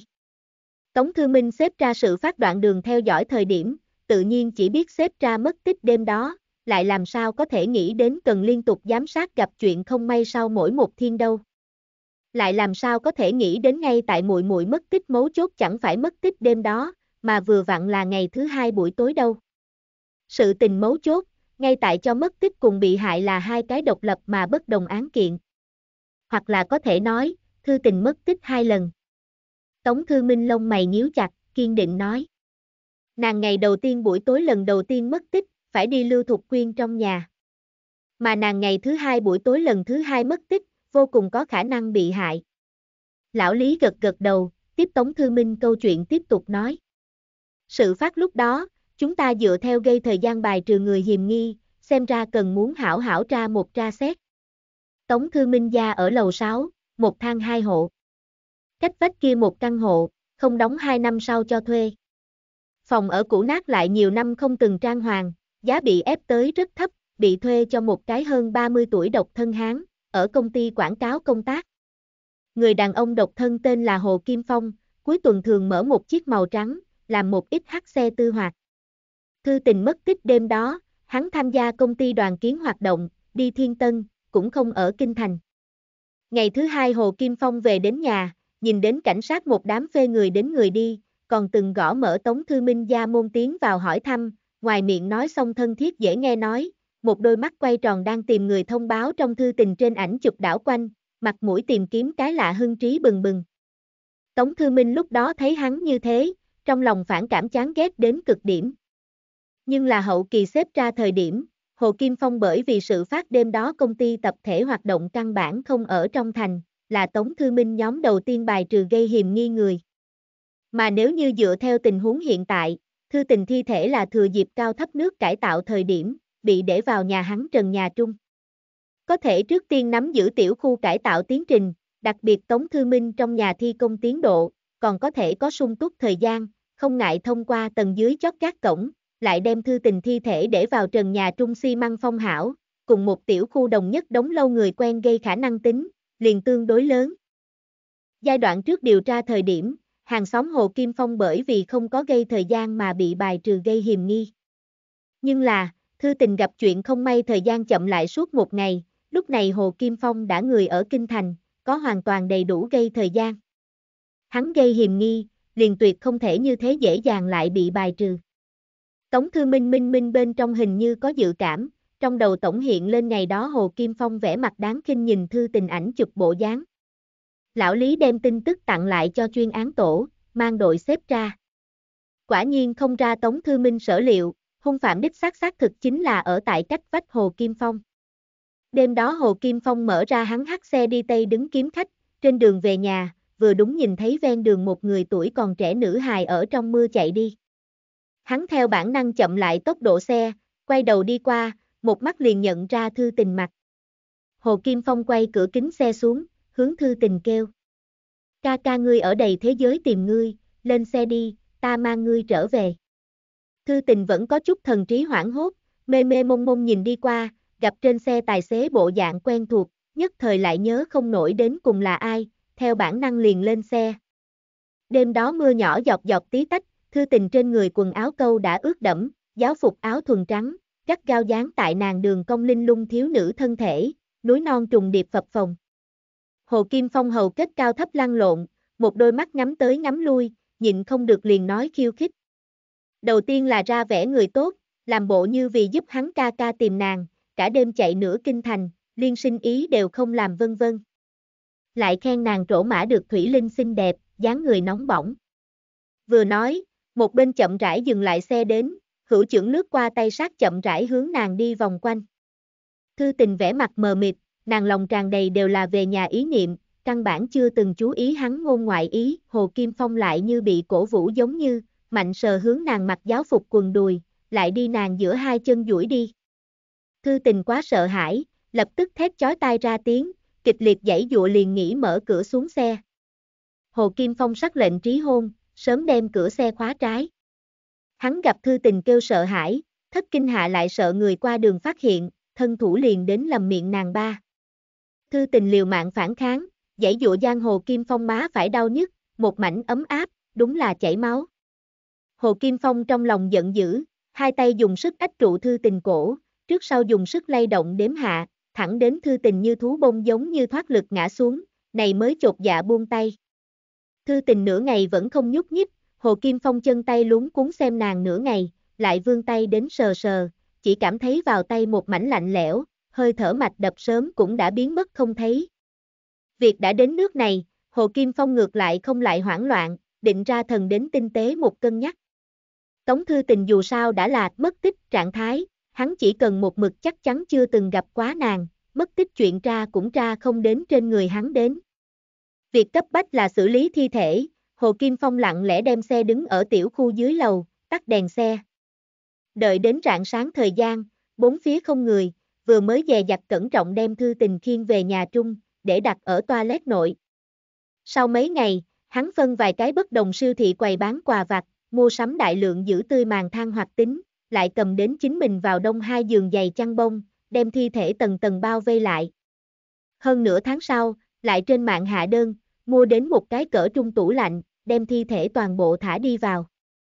Hồ Kim Phong mắt thấy Tống Thư Minh thảm dạng tìm muội muội, ngày ngày lo lắng đề phòng, chỉ nghĩ chờ này một trận gió đầu đi qua, lại nghĩ biện pháp ném thi hoang dã. Nào biết bốn hơn tháng sau, chủ nhà đột nhiên phóng thoại đi ra, nói tiểu khu sắp tiến hành cao thấp nước cải tạo, cải tạo sau, chủ nhà muốn sửa mới vào ở, mời hắn đến lúc đó chuyển đi ra. Hồ Kim Phong cái này mới thật sự là hoảng thần. Thi thân hư thối cự thối, chính hắn vạn vạn không có năng lực đem một cái 80L tủ lạnh tính cả thi thể khiên hạ 6 lâu, nhưng là nếu như mời đến chuyển nhà công ty, lại sợ công nhân kinh nghiệm phong phú, biết này tủ lạnh sức nặng không đúng trước lấy hoài nghi. Ngay tại hắn hoảng không chọn lộ, lo lắng bỏ thi lẫn trốn thời điểm, phụ trách cao thấp nước cải tạo thi công đầu, phái bùng việc xây nhà tiểu trịnh, đập mở nhà hắn trần nhà, rút ra bên trong cao thấp vòi nước, khởi công cải tạo. Hồ Kim Phong nguyên nghĩ giấu xác trong nhà mình trần nhà thượng, lại lại lo lắng chủ nhà sau trang hoàng phòng ở, sự tích bại lộ. Càng nghĩ, cách vách Tống Thư Minh trong nhà, nguy hiểm nhất địa phương tự thành hắn trong mắt tối địa phương an toàn. Người một nhà rối loạn, đã sẽ không cải tạo sau rất nhanh vào ở, cũng sẽ không vào ở trước lo lắng trang hoàng, hắn chỉ cần dùng cả đêm thời gian, đem thi thể chặt chẽ phong ở xi măng tường nội, liền vạn vô nhất thất. Hồ Kim Phong đề mấy ngày trước đây, chạng vạn liền thường đến cùng tiểu trịnh tán gẫu, thường xuyên mang theo bia rượu đồ uống, chậm rãi thăm dò bố quản phong tường đều ở trần nhà mở miệng phía bên phải, bên trái mặc dù sâu nhưng không thi công. Vào lúc ban đêm, Hồ Kim Phong đội vài tầng khẩu trang, mở ra tủ lạnh chuyển ra thi thể. Cải tạo thi công hiện trường xi măng gạch khối đều vì có sẵn, cây thang cũng có, Hồ Kim Phong một thân đại hãn, phí sức chín trâu hai hổ, mới rốt cuộc đem thư tình tính cả chăn bông cùng nhau, Phong ở tại bên trái trần nhà chỗ sâu. Tác giả có chuyện muốn nói. Còn có một chút vạch trần bí mật kết thúc, ngày mai đổi mới. Chương 55 Giải sầu Bạn đang nghe truyện tại mê truyện audio.com Lão Lý vỗ vỗ Tống Thư Minh. Lưới trời tuy thưa nhưng khó lọt, hắn làm nhiều như vậy, lại không nghĩ rằng chung quy bại lộ ở tại chuông dẫn hồn thượng. Thư tình bị hại ngày đó, trên cổ tay vẫn cứ đội chuông dẫn hồn. Hồ Kim Phong thi bạo thời điểm, nàng liều chết phản kháng, kịch liệt giải dụa gian liền vừa vặn hảo là chuông dẫn hồn bên cạnh sắc bén, cắt qua Hồ Kim Phong sườn mặt, dẫn hắn giận dữ phẫn mà giết người. Phía trước Tống Thư Minh cùng lão Lý giảng thuật tình tiết vụ án, lão Lý liền đã phái người đi Đông Thắng thu hồi chuông dẫn hồn. Hình trinh lấy đến chuông dẫn hồn tiến hành kiểm tra, từ phía trên lấy ra đến hai người vết máu, so đối đến hai phân DNA chứng cớ, một phần thuộc loại người bị hại Tống Thư Tình, mặt khác một phần, vừa vặn liền thuộc loại Hồ Kim Phong. Hồ Kim Phong ngược lại cũng thông minh, sự phát ngày đó liền biết Thư Tình trên cổ tay này tay chuỗi có hắn vết máu, không dám tùy ý vứt bỏ. Giấu sát đêm đó, hắn nguyên muốn đem tay chuỗi cùng thi thể cùng nhau phong tồn, nào biết hoảng loạn gian chuông dẫn hồn bị hắn quên ở tại vách tường bên ngoài, vừa mới khéo, đã bị ngày thứ hai đến phong tường Tiểu Trịnh phát hiện. Tiểu Trịnh gặp chuông dẫn hồn kim lóng lánh rất là xinh đẹp, vừa nhớ sai lầm tham ý đột nhiên khởi, không có dựa theo quy định nộp lên, chỉ đem này Linh đang làm của riêng. Không nghĩ cuối cùng lại hại chính mình tánh mạng. Cũng âm kém dương sai, đem thư tình bị hại mấu chốt chứng cớ, ẩn tàng rồi nhiều năm. Nếu như không là trịnh mẫu ái tử, hơn 3 năm đến lao thẳng đến chuông dẫn hồn cung cho di ảnh phía trước, án kiện này, còn không biết muốn bao nhiêu năm, tài năng tra ra manh mối. Một hồi bi kịch, nguyên lai lại là vì ba người nghĩ sai thì hỏng hết. Tiểu trịnh khởi tham độc, ẩn tàng rồi phá án mấu chốt chứng cớ, lưu lão sư khởi ý nghĩ cá nhân, lợi dụng thư tình thân thể, lệnh nàng tứ cố vô thân gặp nạn, Hồ Kim Phong khởi dục niệm, cuối cùng hại thư tình tánh mạng. Theo 26 tuổi đến 30 tuổi, 4 năm thời gian, Tống Thư Minh không còn hắn đọc, chỉ có tìm kiếm muội muội một cái theo đuổi. Giờ phút này cuối cùng chân tướng rõ ràng, lại không biết về sau đem đi con đường nào. Về sau. Về sau đương nhiên là trước thay thư tình báo thù A. Lâm Tố trừng mắt một đôi mắt, nói, phóng hạ đồ đao lập địa thành Phật, có thể cùng chúng ta này hành không có gì quan hệ. Chúng ta này nghề, chú ý chính là có oán báo oán có cừu oán báo thù. Hồ Kim Phong đã cung khai, tình tiết ác liệt lại vô tự thú giảm hình phạt, nói vậy tử hình là đào thoát không được. Một mạng đổi một mạng, Tống Thư Minh không cần hắn một phần bồi thường, duy nguyện hắn đền mạng lấy an ủi muội muội trên trời có linh thiên. Kia Lưu Thục Quyên đâu? Ngươi liền như vậy buông tha nàng. Lâm Tố nghiến răng nghiến lợi. Tống Thư Minh xem nàng vẻ mặt phẫn hận, cùng hắn cùng chung mối thù bộ dáng, trong lòng ấm áp, nhẹ nhàng lắc đầu nói. Đương nhiên sẽ không. Nhưng là pháp luật luôn có giàn giáo, hắn hình cảnh nhiều năm tự nhiên tối rõ ràng giữa biên giới. Lưu Thục Quyên dùng chung dẫn hồn mê hoặc thư tình, không có cũng không có khả năng có chứng cớ. Liền tính hắn có thể hao hết tâm tư chứng minh thư tình từng ở Lưu Thục Quyên trong nhà vượt qua một đêm, sau đó đâu? Tố chư công đường, đem thư tình hết thảy đều mở ra đến nhường đối phương luật sư công kích. Vẫn là nhận điều giải, cầm cô nhi quả phụ mấy vạn đồng tiền. Ta tính toán, đi giáo dục cục cử báo lưu thuộc quyên vi quy học thêm. Tống Thư Minh thấp giọng nói. Hắn có khả năng điều tra đến, nghĩ đến, trước mắt, cũng bất quá là nhường lưu thuộc quyên đã đánh mất công tác thôi. Đến cùng ý khó bình. Lâm Tố lại không muốn nhẹ nhàng buông tha. Cách một ngày nàng cổng Tống Thư Minh, một mình đi Lưu Thục Quyên trong nhà. Lưu Thục Quyên lúc này đã biết hung phạm đền tội, đem Lâm Tố đón vào trong phòng, trên mặt thoải mái rất nhiều, cùng Lâm Tố cùng mắng to hung thủ hung tàn vô nhân tính, lại tháng thư tình nhu thuận vừa ý, lại cứ gặp gỡ như thế bay thiên tai họa bất ngờ. Lâm Tố trên mặt một hàng, lạnh lùng nói. Cũng không tính tai họa bất ngờ đi, ít nhất ban đầu là nàng không biết nhìn người thức người không rõ, đem kia kẻ xấu làm sư tôn. Lưu Thục Quyên một nghẹn, trố mắt một lát, khóe mắt liền dẫn theo nước mắt. Ta làm sao có thể nghĩ đến, nàng về nhà trên đường hội ngộ đến hung thủ đâu. Nàng thúc tha thúc thích, nói tiếp, nghe nói, giết người kia phạm là nhà nàng hàng xóm. Có phải hay không bình thường sớm có kết giao? Trong lời ngoài lời nhưng lại đều đang ám chỉ thư tình phẩm tính không hợp, đêm đó bị hại vì gieo gió gặt bão. Lâm Tố giận dữ phản cười, nhìn nữa không được, đứng dậy đứng dậy cáo từ. Nàng trong mắt tinh quang tránh qua, vừa ra đến trước cửa thủ đoạn rung lên, vài sợi kim quang tự cổ tay gian chảy xuống ở đất, dây lát liền biến mất không thấy. Lâm Tố đem lưu gia đại môn hung hăng vừa ngã, vẫy vẫy đầu đi ra ngoài, rất có vài phần lão lâm khí khái. Ngươi hoàn toàn không có ấy nấy, nhị không thẹn tâm, ta chỉ có thể đưa chút hối linh dư ngươi, nói vậy một ngày kia ngươi có thể hiểu rõ, cái gì tên là có lương tâm. Nhân sinh tại thế, luôn có rất nhiều bất đắc dĩ cùng bỏ qua. Nàng cùng Tống Thư Minh tuy rằng đều là người cô đơn, nhưng nàng thuở nhỏ liền tính nửa cô nhi, sớm cũng đã thói quen nơi đây cô độc tịch mịch đủ loại. Tống Thư Minh lại không giống như, gia đình mỹ mãn hạnh phúc suốt 26 năm, một khi tiêu tan, huyết hải thâm cừu. Từ đây cả đời gông xiềng trong người, lại vô thoải mái khoái ý. Lần này thư tình sự, di cốt hỏa tán hết thảy giảng lược. Tống Thư Minh nguyên bản ai đều không có thông tri, liên cáo biệt sảnh đều không dự định. Hỏa tán ngày đó lại ở nhà tang lễ cửa gặp được Lâm Tố. Lâm Tố một thân hắc y, trong tay một nâng bách hợp trắng, khiết hoàng mỹ. Tống Thư Minh khóe mắt nóng lên, cổ họng nghẹn ngào, lại quay đầu đi chỗ khác. Cái gì đều không thể gạt được ngươi. Lâm Tố cũng không nói nhiều, chỉ lẳng lặng bồi ở bên người hắn. Di cốt hỏa tán xong thông tri nhặt cốt, nàng đi theo Tống Thư Minh cùng lúc đi vào, đưa cho hắn một cái hắc đáy phí phạm khảm giấy mạ vàng vân văn hộp sơn. Tống Thư Minh đánh mắt vừa thấy, liền biết không là phàm khí, yên lặng thu lại. Cuối cùng khép lại nắp vung thời điểm, Lâm Tố ôn nhu nói. Thư tình, nguyện ngươi đời sau trôi chảy bình an. Tống Thư Minh đúng là vẫn còn nhắm mắt lại, mấy không thể nghe thấy nhẹ nhàng nói. Thư tình, kiếp sau gặp lại. Lâm Tố nhĩ lực thật tốt, nghe hắn này một lời, trong lòng như kim đâm, chỉ có thể yên lặng vỗ hắn mu bàn tay.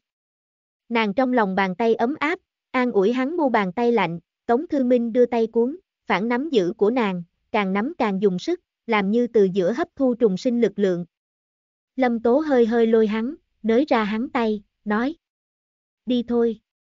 Hai người đi ra âm trầm đen tối quán nội, lập tức bị sáng lạng ánh mặt trời rót đầu đầy. Kinh thành 7 tháng đã thập phần nóng bức, tuy là Tống Thư Minh ở quán nội khắp cả người phát lạnh, vài phút đi qua cũng bị này mặt trời chói chang chiếu ra mồ hôi đến. Hắn ngẩng đầu nhìn xem Thái Dương, trong mắt bị đâm ra nhiều điểm bạch quang, lại quay đầu nhìn xem Lâm Tố, những thứ kia bạch quang chiếu vào của nàng trên mặt, nhưng hắn thấy không rõ của nàng biểu cảm. Hắn có chút hoảng hốt, vẫy vẫy đầu lấy lại bình tĩnh, đối nàng nói. Chịu ngươi đại ân đại đức, vô cho rằng báo. Nghĩ cho ngươi tiền, ngươi lại không thu. Vừa vặn ngươi ở nghỉ hè, không bằng, ta mời ngươi đi du lịch. Nói là du lịch, kỳ thực cũng có tư tâm. Thư tình thượng tiểu học thời điểm, ở sách giáo khoa thượng đọc được kêu sa sơn trăng non tuyền, rất là hướng tới, quấn quýt lấy phụ mẫu nghỉ hè muốn đi quấn thật lâu. Mẫu thân đáp ứng nàng, nếu như cuối kỳ cuộc thi thành tích hảo, liền dẫn bọn hắn huynh muội đi. Muội muội chờ mong không thôi, còn tại viết văn trận đấu trung viết kêu sa sơn trăng non tuyền, cầm hạng nhất.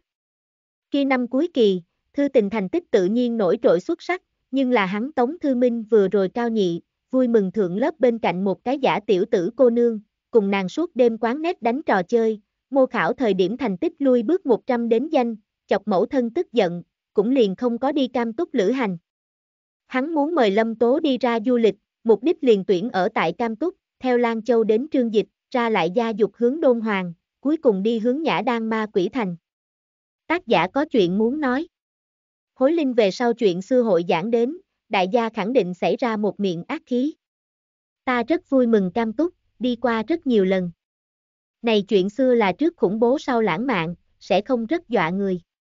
Mặt khác ta phía trước không quen thuộc tấn gian thao tác, 56 chương là khóa ở tồn cảo không chương, mặt sau còn có gần trăm chương nội dung nộp, có thể ngàn vạn đừng cho là ta kết thúc ở trong này lạp. Chương 56 Chợ đêm bạn đang nghe truyện tại mê truyện audio.com Kinh thành bay cam túc khoảng cách không tính ngắn, nguyên bản hơn 2 giờ hành trình lại tối nay một cái giờ, Tống Thư Minh cùng Lâm Tố sinh sôi ở trên máy bay ngồi gần sát ngủ giờ. Lan Châu Trung Xuyên sân bay khoảng cách nội thành có 70 nhiều km, tàu điện ngầm thành quy cùng tàu tốc hành đều còn không có khai thông, chỉ phải lại ở sân bay Đại Ba Thượng khô ngồi hơn một giờ. Đúng gặp sân bay cao tốc dọc tuyến xây dựng tàu tốc hành, nguyên bản hơn một giờ hành trình lại gặp gỡ kẹt xe. Hai người trằn trọc gần 8 cái giờ mới đến khách sạn, hai người bỏ xuống hành lý, vốn muốn đi khách sạn đối diện Đông Phương Cung ăn một bát nổi tiếng xa gần mì thịt bò, đến trong tiệm vừa hỏi, mới biết được Lan Châu đến cùng mì thịt bò rạng sáng bắt đầu ngao canh, chỉ bán buổi sáng cùng giữa trưa. Buổi tối lại đi ăn, nhân gia đã thu phô. Lâm Tố bụng đói kêu vang, quay đầu liếc Tống Thư Minh. Tống Thư Minh cười hắc hắc, sờ sờ cái mũi, nói. Chính đinh lộ chợ đêm cũng rất nổi danh, muốn hay không đi thử thử.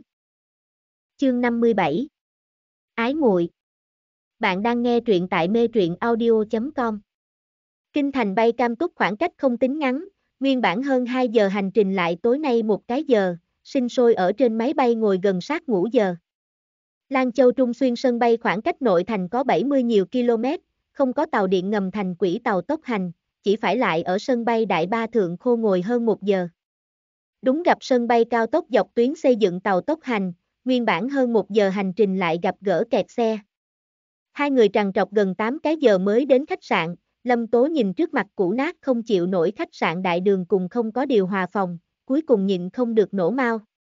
Ngươi là mời ta đến du lịch vẫn là chịu tội. Ngươi là báo ân, vẫn là báo thù. Tống Thư Minh ngượng ngùng cười hắc hắc, đến phòng thời điểm đồ tiện nghi không có nhiều xem, lúc này mới biết tiếng thối lưỡng nan xấu hổ không thôi. Hoặc là, không được. Trực tiếp đi trương dịch. Theo Lan Châu đến trương dịch ngồi vẫn là cứng rắn da xe giường nằm, Tống Thư Minh nguyên bản mua một cái trung phô một cái hạ phô, thượng hỏa xe sau toàn bộ đổi cho mang hài tử lữ khách cùng lão nhân. Hai người đều ngủ ở thượng phô, cách không tướng vọng. Lục gia xe giường cứng không có điều hòa, chỉ có củ nát quạt chi chi nha nha tả hữu chuyển động. Cam túc ngày đêm trên lệch nhiệt độ đại, buổi tối gió mát, toa xe lại thập phần bực mình, thỉnh thoảng xen lẫn tiểu nhi khóc nháo. Lâm Tố nằm ở trên giường, dần dần không có buồn ngủ, quay đầu đi nhìn chen chúc ở thượng phô nhỏ hẹp không gian nội Tống Thư Minh. Hai người đều là sườn nằm, lúc này ngược lại như cùng ngủ một trương giường. Mượn ngoài cửa sổ mờ tối ngọn đèn, Lâm Tố nhìn chầm chầm Tống Thư Minh gò má ngẩn người, ngược lại như lần đầu tiên thấy hắn giống như tinh tế đánh giá hắn. Hắn hai mắt nhắm nghiền, lông mày bằng phẳng, cả người đều ôm hòa xuống dưới. Lâm Tố này mới phát giác, hắn mặt mày đều cực thanh tú, nếu như ngăn trở anh khí cái mũi cùng hạ nửa gương mặt, hoặc thoát thoát chính là một cái khác thư tình. Có thể hắn từ mũi đến cầm, lại bày lưỡng đạo vết sẹo. Ngày thường không cẩn thận nhìn cũng không thập phần nhìn ra được, chỉ cảm thấy hạ nửa gương mặt làn da thô ráp lại có chút quái dị, nàng hiện tại nghiêm cẩn xem, mới phát hiện là hai tầng vết thương, một đạo ngang môi, nguyên bản môi mỏng bởi vậy có vẻ có chút đột ngột dày. Mặt khác một đạo lại như là bị bỏng thương, gồ ghề từ dưới ba lan tràn đến cổ. Lâm Tố nhỏ giọng lẩm bẩm. Sao lại thế này? Tống Thư Minh đột nhiên nâng lên mí mắt, ngược lại dọa nàng nhảy dựng. Hắn hơi hơi hướng nàng cười một cái, lại dài cánh tay duỗi ra, theo hai trương thượng phô trung gian cách không mặt đi lại, thân thủ xoa mí mắt nàng, nói. Ngủ đi. Lâm Tố bị hắn lòng bàn tay thô ráp dán sát vào mí mắt, nhắm mắt lại, lông mi ở hắn lòng bàn tay cạo cạo, gò má không hiểu có chút nóng lên. Dưới xe lửa đến trương dịch, đã mau giữa trưa. Hai người đi trước khách sạn thả đồ vật, Lâm Tố mệt mỏi buồn ngủ, kéo lên rèm cửa sổ ngã đầu liền ngủ, tỉnh lại đã gần đến hoàng hôn. Tống Thư Minh đã theo đại chùa trở về, thay phụ mẫu cùng thư tình điểm tam chén đèn trong. Ta thay lão Lâm, cũng điểm một chén. Tống Thư Minh hướng Lâm Tố dương dương cầm. Lâm Tố bật cười, nói. Đại chùa, là Phật giáo đi. Lão Lâm biết, muốn chọc giận được theo trong quan tài nhảy ra. Tống Thư Minh sửng sốt, cứng họng không biết như thế nào đáp nàng, Lâm Tố hàm chứa ý cười liếc hắn một cái, không có nhiều lời nữa. Cơm trưa qua đi, hai người ngồi xe chạy tới đang Ráng. Trương dịch bảy màu đang Ráng trên đời nổi tiếng, mênh mông vô bờ liên miên phập phòng hồng thổ triền núi, như phi lụa mang cẩm giống như bị nhiễm lên nhiều loại nhan sắc, sầm loan phập phồng, bốn mùa nhiều màu.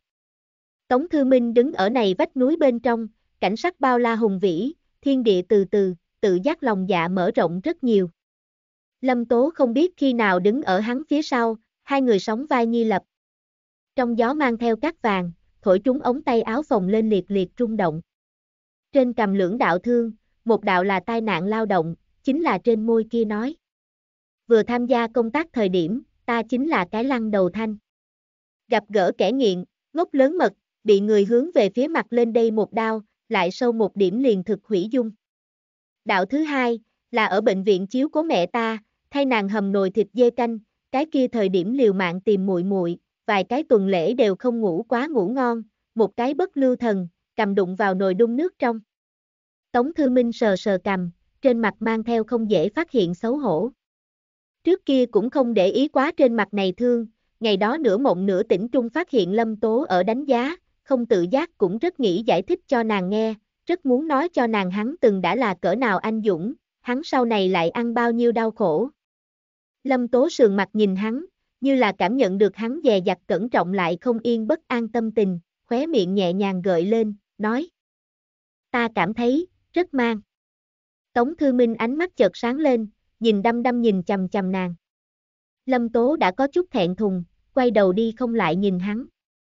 Theo trương dịch đang ráng trở về đã là chạng vạn, Lâm Tố cùng Tống Thư Minh phòng tương đối, một cái 507, một cái 509, hai người giảng định thay xong quần áo cùng đi Cam Châu chợ đêm ăn xoa cá mặt. Tống Thư Minh thay đổi kiện mỏng sam áo khoác, mang tốt lắm bóp tiền di động, chuyển qua hành lang chờ thang máy. Cửa thang máy mở, vừa đúng chính là Lâm Tố đi ra, nhìn Tống Thư Minh cười một cái, khóe mắt nhẹ nhàng dơ lên, nhưng lại dẫn theo vài phần mị ý, tượng hóa đạm trang giống như, thường ngày thưa thất bình thường bộ dạng lúc này nhưng lại xinh đẹp rất nhiều, khóe mắt đuôi lông mày dơ tay nhất chân đều không như bình thường, rất là có vài phần khói lửa hơi thở. Tống Thư Minh tâm như nổi trống thùng thùng thùng khiêu, thấy nàng như thế nhưng lại chân tay luống cuốn đứng lên, tượng bị đặt tại lửa thượng nướng, cái trán phía sau lưng đều ra một tầng mồ hôi. Lâm Tố hướng hắn cười cười, chậm rãi chậm rãi xoay người sang chỗ khác, ống tay áo nhẹ nhàng ôm nhu phất qua hắn mu bàn tay, tượng có một trận ngọt ngấy hoa mai đánh tới. Tống Thư Minh kìm lòng không đậu đi theo nàng bước chân, vài bước liền đi tới nàng trước cửa.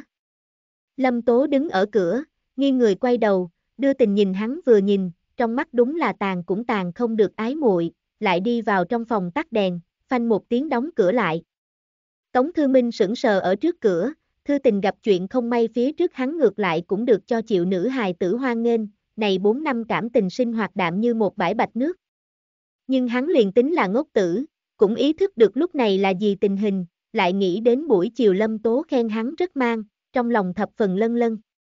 Hắn đứng ở trước cửa do dự luôn mãi, trái lo phải nghĩ, vẫn là không dám vào cửa, cách được hơn 10 giây, chung quy phòng lên dũng khí gõ gõ cửa phòng, xa xa kêu một tiếng. Ta trước đi xuống lầu chờ ngươi. Tống Thư Minh cơ hồ được cho là chạy trối chết, đợi đi vào thang máy lại cắn răng vài phần ám hối. Thích không? Chính trực thiện lương, vui mừng. Dũng cảm kiên cường, vui mừng.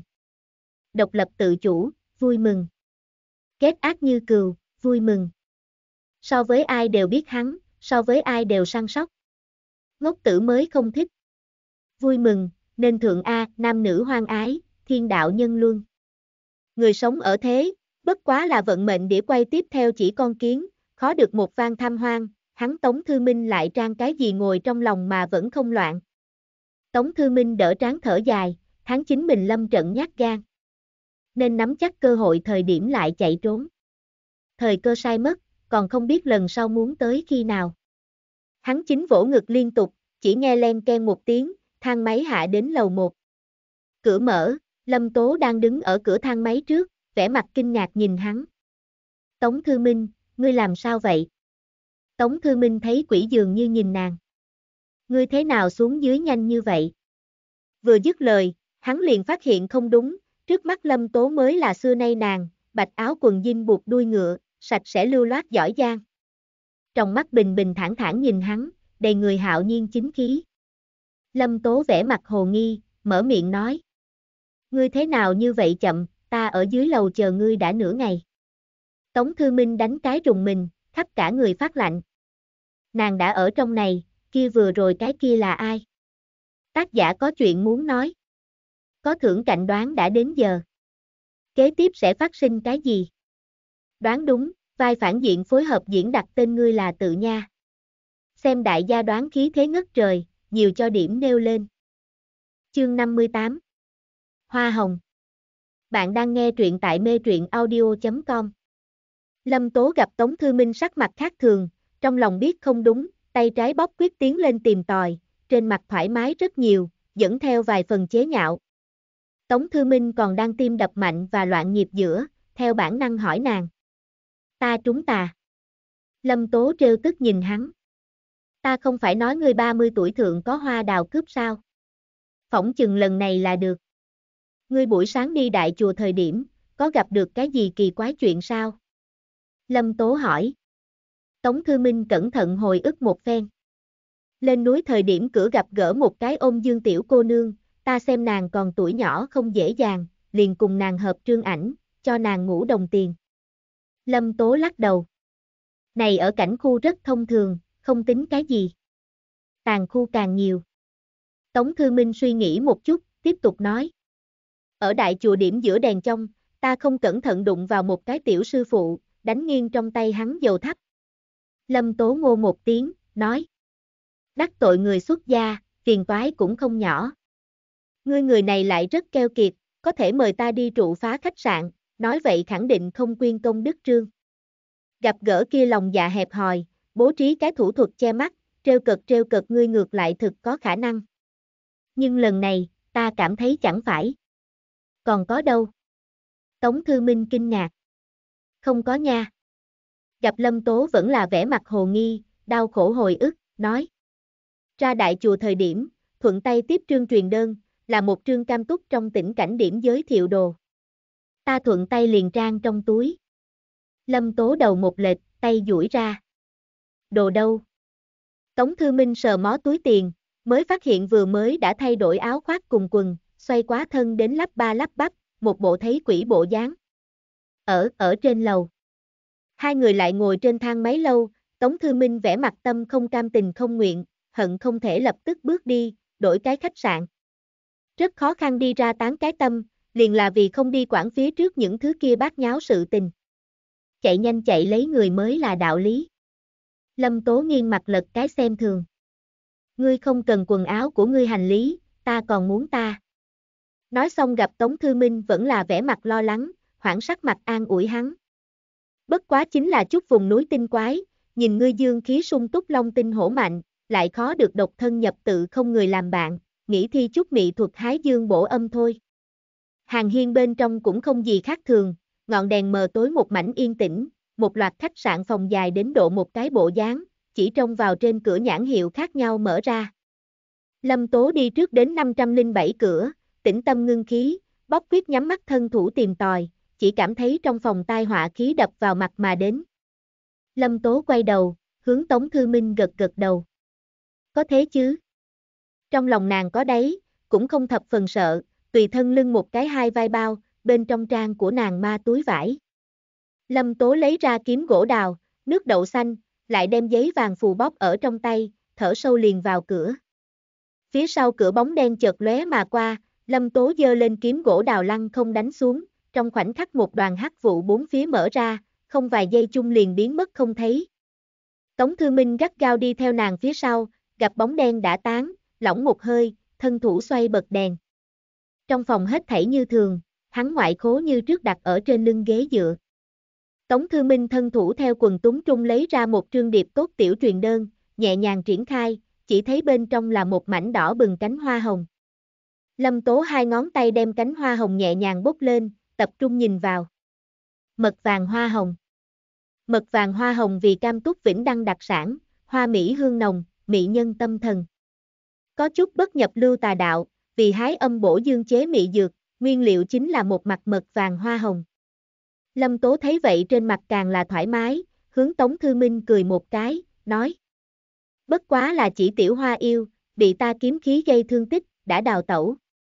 Hoa yêu vật ấy, nàng cùng lão lâm ở tầng lĩnh vùng núi nhìn được hơn, làm việc treo rao, hoan hỷ nhất treo hoa gẹo nguyệt tranh kỳ khoe sắc, mỹ thuật thi vô cùng tốt, hái dương bổ âm, huân tố không kỵ, là nam nhân liền không buông tha. Liền ngay cả lão lâm như vậy một cái khô quắc lão nhân, đều gặp gỡ quá vài lần hoa yêu thi triển mỹ thuật. Nàng khi còn bé còn không gì biết, lão lâm liền che nàng ánh mắt không cho nàng xem. Chờ nàng lại lớn hơn một chút lại ngộ hoa yêu, lợi dụng dễu cật lão lâm làm vui. Hoa yêu tính cách tuy rằng phô trương, nhưng nhát gan như chuột, dịu ngoan hiền lành, cũng không đã thương người. Nếu không phải Tống Thư Minh lá gan quá nhỏ đề phòng tâm trọng, vừa mới làm không tốt còn có thể có diễm ngộ một hồi. Ngươi yên tâm ở đi, không thành vấn đề. Lâm Tố Thi thi nhiên đối Tống Thư Minh nói. Tống Thư Minh rất muốn nói thẳng chính mình cũng chẳng như vậy yên tâm, nhưng là xem Lâm Tố vẻ mặt chắc chắn, lúc này mở miệng mà như là ra tiếng chất vấn nàng, chỉ có thể lắp bắp đi theo nàng phía sau. Hai người xuất phát đi chợ đêm, Lâm Tố đi ở Cam Châu chợ đêm, đột nhiên nhớ tới cái gì, vẻ mặt bác quái hỏi Tống Thư Minh. Hoa yêu thi mỹ thuật, ngươi bị mê hoặc thời điểm, trong mắt nhìn thấy phải là ngươi rất vui mừng rất có dục niệm người. Ngươi nhìn thấy ai? Lâm Tố tò mò. Tống Thư Minh chính đoan một chén ngọt phôi tử, nghe vậy suýt nửa một miệng sặc trụ, ấp úng nửa ngày mới tìm cớ ra đi qua. Chợ đêm trở về sau, Tống Thư Minh kiên trì trở về phòng. Hắn hạ quyết tâm buổi tối không ngủ, ở trên tay nắm cửa treo cái ly thủy tinh tử, lại đem đầu giường đèn bàn mở ra, dựa ở trên gối đầu soát di động. Hứa là vì liên tục hai cái buổi tối ngủ không ngon, đi chung đường bôn ba mệt nhọc, Tống Thư Minh mí mắt càng ngày càng trầm, hắn đi phòng tắm tẩy một thanh mặt trở về nỗ lực chống đỡ, đợi cho rạng sáng 2 giờ nhiều, liền mơ mơ màng màng đang ngủ. Hắn ngủ không biết bao lâu, nửa mộng nửa tỉnh chi gian lại cảm thấy bốn phía thập phần quỷ dị, phản phất có ai ở vụn trộn đánh giá hắn. Tống Thư Minh bấm chính mình một thanh, ý thức chậm rãi thanh tỉnh. Trong bóng đêm xác thực có cái gì ở cẩn thận quan sát hắn, hắn hơi hơi hiếp ánh mắt, hai tay gắt gao nắm chặt quyền, vận sức chờ phát động. Đúng vào lúc này, ầm thanh thúy một tiếng vang, là bắt tại trên tay nắm cửa ly thủy tinh tử rơi xuống ở đất. Có người ở chuyển tay nắm cửa. Tống Thư Minh nhảy dựng lên, một cái xinh đẹp lật nghiêng lăn xuống giường, gắt gao dựa vào bên giường ngừng thở. Tay nắm cửa bỗng nhiên một chút bị nhéo chuyển mở ra, có bóng người mạnh vọt tiến vào, Tống Thư Minh nhắm cơ hội, thừa dịp người nọ nhằm phía giường thời điểm tăng một chút theo phía sau giường bổ đi lên, một thanh áp ở người nọ trên người. Người nọ ngược lại như chấn động, theo bản năng xoay người liền cùng Tống Thư Minh xoay đánh ở cùng nhau. Tống Thư Minh cảnh giáo tốt nghiệp, lực cánh tay hảo thân thủ mau, người nọ dáng người lại rất nhỏ gầy, khí lực nhỏ yếu như nữ tử giống như, hai hạ đã bị Tống Thư Minh phản xoay hai tay, áp ở trên giường không thể động đạn. Tống Thư Minh trong lòng vi thấy quá dị, vừa định ra tiếng hỏi, phòng đèn lại đột nhiên một chút sáng đứng lên. Chợt biến lượng, Tống Thư Minh hiếp hạ ánh mắt, lại mở liền trông thấy Lâm Tố thở hỗn hển đứng ở cửa, vẻ mặt khẩn trương nhìn hắn. Trên người nàng còn mặc màu lam nhạt áo ngủ, Tống Thư Minh nhẹ nhàng hướng nàng lắc đầu. Ta không sao. Nói xong, hắn lôi người nọ theo trên giường đứng lên, Lâm Tố này mới nhìn rõ Tống Thư Minh tư thế quỷ dị, dưới thân còn đè ép một người. Người nọ là cái, tiểu hài tử. Tống Thư Minh trầm giọng mở miệng nói. Người nọ ngẩng đầu lên, Lâm Tố này mới nhìn rõ, quả nhiên là trắng nõn thanh tú một cái tiểu nam hài, 14 năm tuổi, không sợ trời không sợ đất dương cầm, rõ ràng cánh tay phía sau lưng đều bị Tống Thư Minh dài cánh tay khống trụ, ngữ khí vẫn là kiêu ngạo đến cực điểm. Cái gì tiểu hài tử? Lão tử chim đài biết không thay tên ngồi không thay đổi họ, ngươi nha kia điều trên đường. Tác giả có chuyện muốn nói. Hôm nay đỉnh không vui lòng, cho nên viết khoan khoái một chương, hy vọng đại gia vui mừng.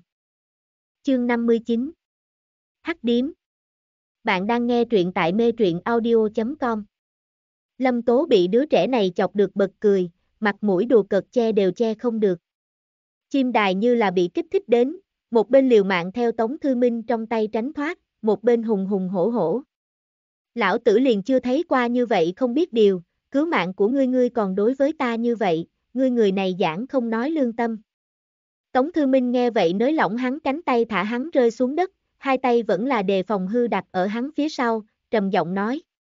Hảo hảo nói chuyện. Chim đài bị Tống Thư Minh thấp giọng một trống, trục lui cổ. Lâm Tố cao thấp đánh giá hắn toàn thân, vóc dáng không cao, thân hình gầy yếu, chụp một kiện rộng lùng thùng hoàng tê tuất, dưới ánh đèn mơ hồ lộ ra nội sấn phù văn dấu vết. Hoàng phù quái. Lâm Tố trong lòng căng thẳng, đây là gặp được đồng đạo người trong. Chim đài nghe nàng như vậy một câu, ngược lại chính sắc mặt xem nàng. Có thể nhận ra lão tử này thân y phục, tính ngươi này giả nha đầu có vài phần nhãn lực gặp nhi. Lâm Tố thấy hắn xem thường người, hừ lạnh một tiếng. Hoàng phù quái có cái gì ngạc nhiên, ta gia gia trước kia cắt không biết bao nhiêu kiện vội tới ta đương tả. Chim đài chật chật vài tiếng, lấm la lấm lét đứng lên, hai cái sáng lấp lánh tiểu trong mắt quay tròn liền hướng lâm tố phía sau đảo quanh. Như vậy dậm chân giận dữ, chẳng lẽ ngươi nha dài quá cái hoàng kim thí cổ. Tống Thư Minh nhất thời giận dữ, túng đầu một chưởng hướng chim đài chụp được. Ánh mắt cho ta thả tôn trọng điểm. Chim đài cái này mới rốt cuộc thành thật, Tũng nghiêm mặt ngồi ở trên sofa mặt, hắn không nói chuyện thời điểm, khuôn mặt nhưng là trắng nõn thanh tú, hai con mày rậm buông xuống, rất có vài phần nhu thuận bộ dáng. Tống Thư Minh xuất ra trước kia thẩm vị thành niên tiểu tặc tư thế, hai hạ liền đem lời chụp vào cái sạch sẽ. Ngươi là nói, liên tục vài cái đồng hành, đều tại đây gia khách sạn ném quá pháp khí.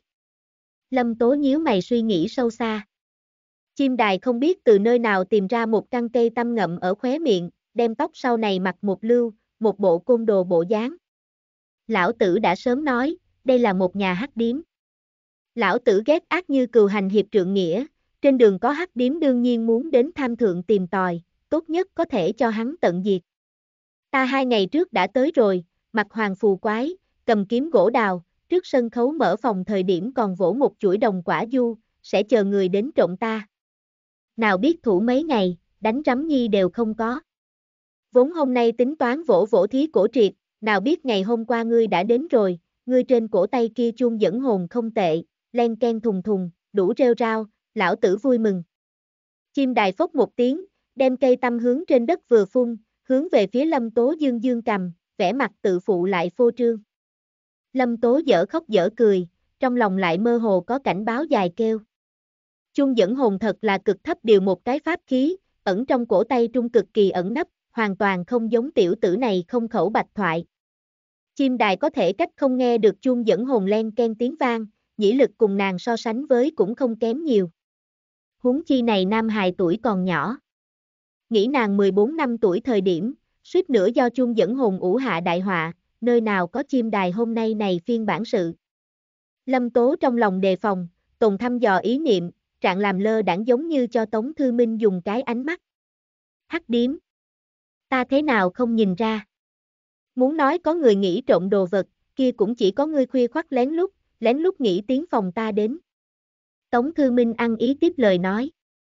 Chim đài tuổi nhỏ, quả nhiên cấm không được hai người ngôn ngữ tướng kích, mặt đỏ tai hồng quát. Ta thấy ngươi đội chung dẫn hồn, còn tưởng rằng ngươi bao nhiêu tính cái có bản lĩnh, nào biết ngươi như vậy yếu gà. Nếu không là lão tử trước khi ngủ nghỉ cách đàn, bày căng âm trầm đổ gỗ ở đầu giường, gặp tai họa vào phòng, hảo tâm tiến đến điều tra, ngươi nam nhân đêm nay làm không tốt liền giao cho ở trong này. Ngươi này đàn bà, dài được vốn liền không làm gì, có người chịu muốn ngươi còn không hảo hảo quý trọng, tuổi còn trẻ đã nghĩ đương quả phụ sao. Lâm Tố liên tục hai cái buổi tối không hảo hảo ngủ, lại vây lại mệt, bị chim đài này vừa thông suốt bô bô ầm ỉ được não nhân phát đau, vừa định vuốt vuốt suy nghĩ hảo hảo đáp hắn, liền trông thấy Tống Thư Minh sờ sờ mũi, ho ho hai tiếng, nói. Ta trước mắt. Còn không phải nàng nam nhân. Lâm Tố. Tống Thư Minh, ngươi chú ý điểm ở nơi nào? Chim đài mặt mũi đều là đáng kinh biểu cảm, tới tới lui lui đánh giá nàng cùng Tống Thư Minh. Lâm Tố hít sâu một hơi, bình phục tâm tình, túc sắc mặt, khôi phục ngày thường lạnh lùng bộ dáng, nói. Ta buổi chiều đã tham quá, hoa yêu mà thôi, cũng không đã thương người. Tống Thư Minh có chút do dự. Hoa yêu buổi chiều đã bị ngươi kiếm khí gây thương tích, theo lý thuyết cũng sẽ không về đến. Có thể vừa mới ta trong bóng đêm, lại đích xác cảm thấy rất kỳ quái, tượng có cái gì ở vụn trộn xem ta.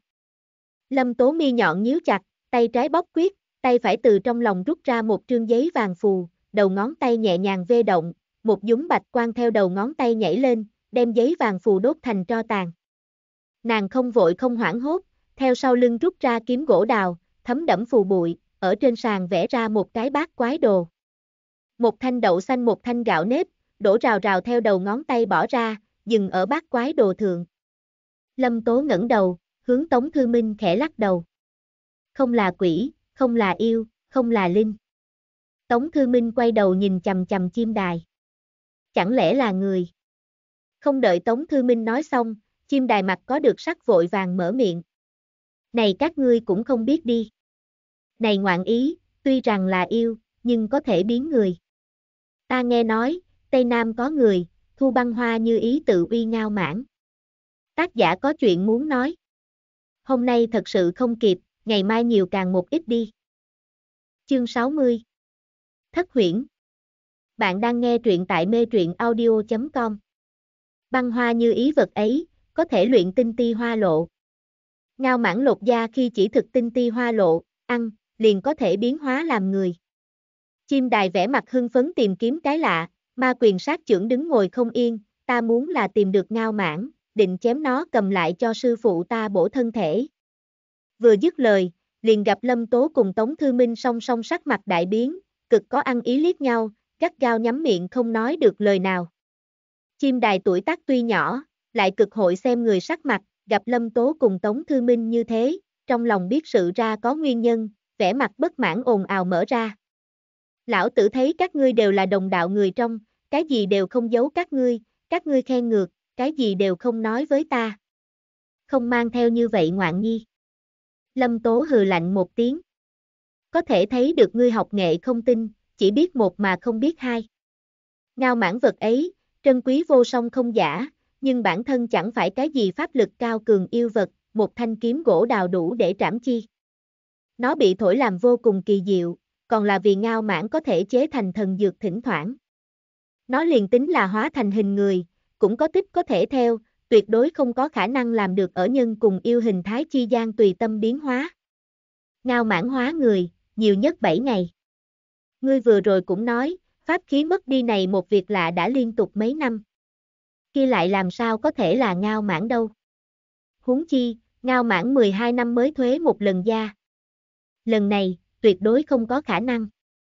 Chim đài trong lòng không phục, vừa định ra tiếng phản bác, ánh mắt xoay vòng lưu chuyển một vòng thu câu chuyện, bày ra khiêm tốn thụ giáo bộ dáng tới hỏi. Kia hoa yêu lại là chuyện gì xảy ra? Lâm Tố khoát tay, chỉ chỉ Tống Thư Minh.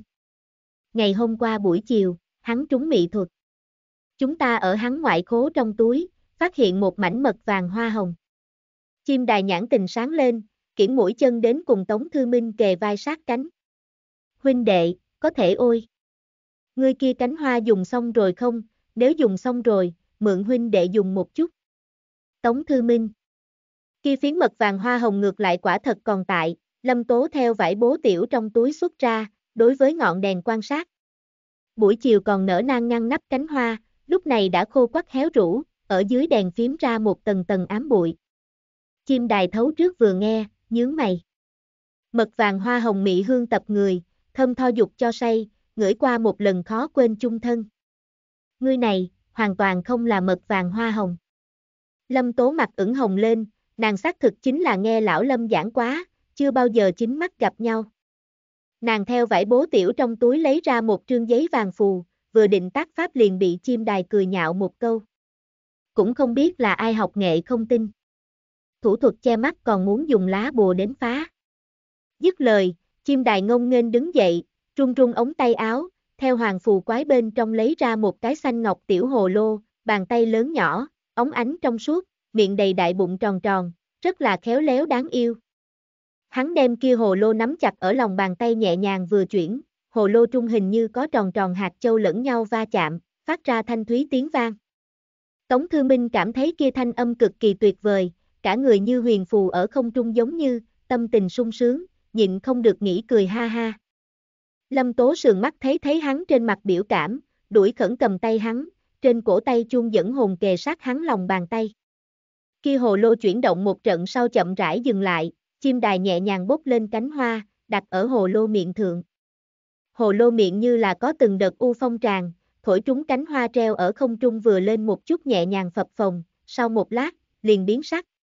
Chim đài thu hồ lô, lại đem cánh hoa bóp ở đầu ngón tay, một lời không nói đưa tới Lâm Tố trước mắt. Lâm Tố dương mắt vừa nhìn, Kia một mảnh đỏ ửng cánh hoa thượng tượng có nhiều màu thuốc màu ở chảy xuôi giống như, xích da cam lục thanh lam tử bảy thứ nhan sắc luân phiên biến ảo, có loại nhiếp nhân tâm phi mỹ. Lâm Tố ngược lại hấp một miệng khí lạnh, nắm chặt Tống Thư Minh tay, nói. Tống Thư Minh, ta có câu cũng muốn hỏi ngươi, ngươi nhất định phải nghĩ rõ ràng lại trả lời. Chúng ta là ở phòng của ngươi 507, vẫn là ở phòng ta 509. Tống Thư Minh cảm thấy kỳ quái, không hiểu đáp nàng. Đương nhiên là ở phòng ta. Ta ngủ đến một nửa tỉnh, có loại bị người nhìn trộn kỳ quái cảm giác. Đúng lúc này chim đài xông vào, ta cùng hắn xoay đánh ở cùng nhau, sau đó ngươi liền đi qua. Lâm Tố ngữ khí nhàn nhạt, tiếp tục hỏi hắn. Ta tiến vào sau, câu nói đầu tiên là cái gì? Tống Thư Minh càng phát kỳ quái, cẩn thận hồi tưởng, nói. Ngươi không nói chuyện. Lâm Tố ừ một tiếng, xoay người lại triển khai hai tay. Tống Thư Minh, trên người ta y phục là cái gì nhan sắc?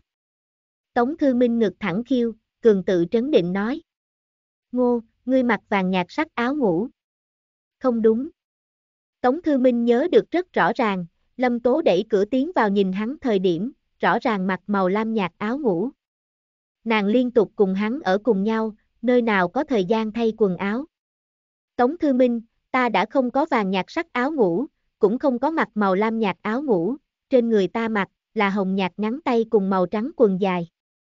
Lâm Tố nhẹ nhàng đáp hắn. Tống Thư Minh trên trán mồ hôi lạnh xoát một tiếng liền rơi xuống, hắn lật tay đã nghĩ theo Lâm Tố trong tay né ra, theo bản năng hô to một tiếng. Hoa yêu. Lâm Tố lại một thanh nắm lấy hắn. Ngươi thấy rõ ràng. Ta chính là ta. Cho tới bây giờ liền không từng có cái gì hoa yêu. Nàng thở sâu tiếp tục nói.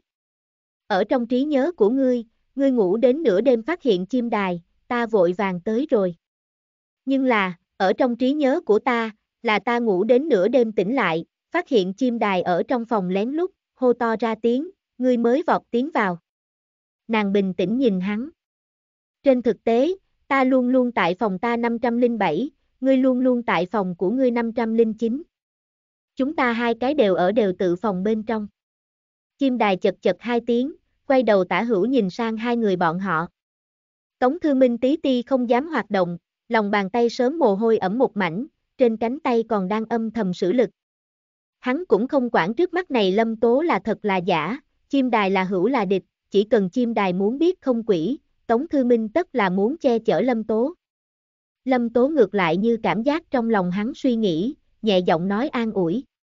Nếu như không là chim đài ngoài ý muốn xâm nhập, chỉ sợ ngươi ta đêm nay thật là muốn mất mạng. Chúng ta gặp gỡ, không là ngao mãn, cũng không phải hoa hồng yêu, mà là bảy sắc cận. Bảy màu đang ráng bảy sắc thổ, bảy sắc thổ sinh bảy sắc cận, bảy sắc cận sinh thất ảo giác, xa hoa dâm dật tham muốn vọng. Nàng cùng Tống Thư Minh, nguyên lai từ lúc bảy màu đang ráng đã bị chặt chẽ nhìn chầm chầm thượng. Tống Thư Minh trở lại trong phòng nhìn đến, hoa yêu, lâm tố, quần trong túi lấy ra mật vàng cánh hoa hồng, buổi tối ngủ phòng, bất quá đều là một hồi từ bảy sắc cận bày biện ra đến ảo ảnh. Cái gọi là 507 cùng 509, rất có khả năng căn bản liền không tồn tại. Chim đài nhẹ giọng tiếp thượng, các ngươi theo tiếng vào, liền đều tự không hề động quá, chỉ vì bảy sắc ảo ảnh mới có cả đêm đủ loại ảo giác. Mà ta lại âm kém dương sai xông vào, đụng vào các ngươi hai người bên người. Ngươi ta ba người, lúc này cần phải ngay tại thất ảo giác trong trận. Lâm Tố gật gật đầu, cười khổ một tiếng. Việc cấp bách, là theo này ảo trận bên trong chạy ra. Lâm Tố cùng chim đài liếc nhau, đồng thời ăn ý dơ cao pháp khí. Chim đài trong tay dơ cao ngọc hồ lô không ngừng chuyển động, thanh âm thanh Việt vang dội, bắn ra nói nói thanh quang. Lâm Tố kéo hạ ống tay áo, lộ ra chuông dẫn hồn, thủ đoạn linh hoạt lay động, chuông dẫn hồn len ken rung động, tràn nhiều điểm kim mang. Hai người một trước một sau, đem Tống Thư Minh kẹp ở bên trong, theo cửa phòng trung xông ra, thẳng đến khách sạn phòng cháy chạy trốn thang lầu. Ba người vừa mới chạy trốn tới thang lầu gian, bỗng nhiên đèn đuốc toàn diệt, trước mắt một mảnh bóng tối. Lâm Tố hô to một tiếng chớ hoảng sợ, đầu ngón tay vê động, mười ngón nhọn liền có ma trơi hừng hực gas. Chim đài quát to một tiếng xinh đẹp, bị khơi dậy thắng bại muốn, không cam lòng yếu thế mạnh diêu một trận thanh ngọc hồ lô, tản mát ra ẩn ẩn lục quang. Chỉ thấy thang lầu gian phản phất địa chấn giống như chấn động, trước mặt kiến trúc như là thời không xoay thác loạn, ào ào vặn vẹo thay đổi bộ dáng, trong khoảnh khắc bốn phía trên vách tường dài ra thô dài vĩ đại màu xanh dây mây, tầng tầng vặn vẹo, mũi nhọn thô như cự mãn, tượng có tri giác giống như, mạnh thẳng hướng lâm tố cuốn đi lại, mắt thấy liền muốn rút thượng nàng cánh tay. Tống Thư Minh phi thân về phía trước một bổ, ngăn ở lâm tố phía trước. Dây mây thoáng chốc cuốn trụ hắn cánh tay trái, hắn dọn ra tay phải xuống phía dưới chém tới. Khi dây mây cánh tay giống như thô, ngoan thạch giống như cứng rắn, tí ti không thấy lay động, theo hắn bả vai hướng lên trên, nhưng lại quấn quá Tống Thư Minh cổ. Lâm Tố quá sợ hãi, một thanh rút ra sau lưng kiếm gỗ đào, dùng hết toàn lực hung hăng đánh xuống. Chỉ nghe thanh thúy một tiếng liệt vang, nàng chui này bàn tay rộng kiếm gỗ đào sinh sôi từ giữa cắt thành hai đoạn. Dây mây lại lông tóc không tổn hao gì, càng quấn càng chặt, Tống Thư Minh đầy mặt tử trướng, yết hầu trung nhưng lại phát ra khanh khách tiếng vang. Tác giả có chuyện muốn nói. Kỳ thực ta cũng rất muốn ngày càng 3.000 thậm chí 6.000, thật sự. Bởi vì tiền lời bản thân cùng số lượng từ móc nối. Nhưng là đôi khi, tốc độ cùng chất lượng thật là trình phát triển trái ngược. Càng là đương văn trung sở hữu não động đều là ta sinh sôi trống rỗng nghĩ lúc đi ra. Ta thật sự không đồng ý vì này đi kéo số lượng từ, đi rơi chậm lại tác phẩm chất lượng. Ta thật là hy vọng các ngươi hoa mỗi một phân tiền đều vật có sở trị, thật là hy vọng có thể hoàn thành một quyển chất lượng thượng thừa, thần làm, không lãng phí các ngươi truy văn thời gian cùng tâm huyết. Hy vọng đại gia có thể duy trì ta, nhưng ta có thể bảo trì nhất trí tiêu chuẩn, không thẹn đối với các ngươi duy trì cùng tiêu phí tấn gian tệ.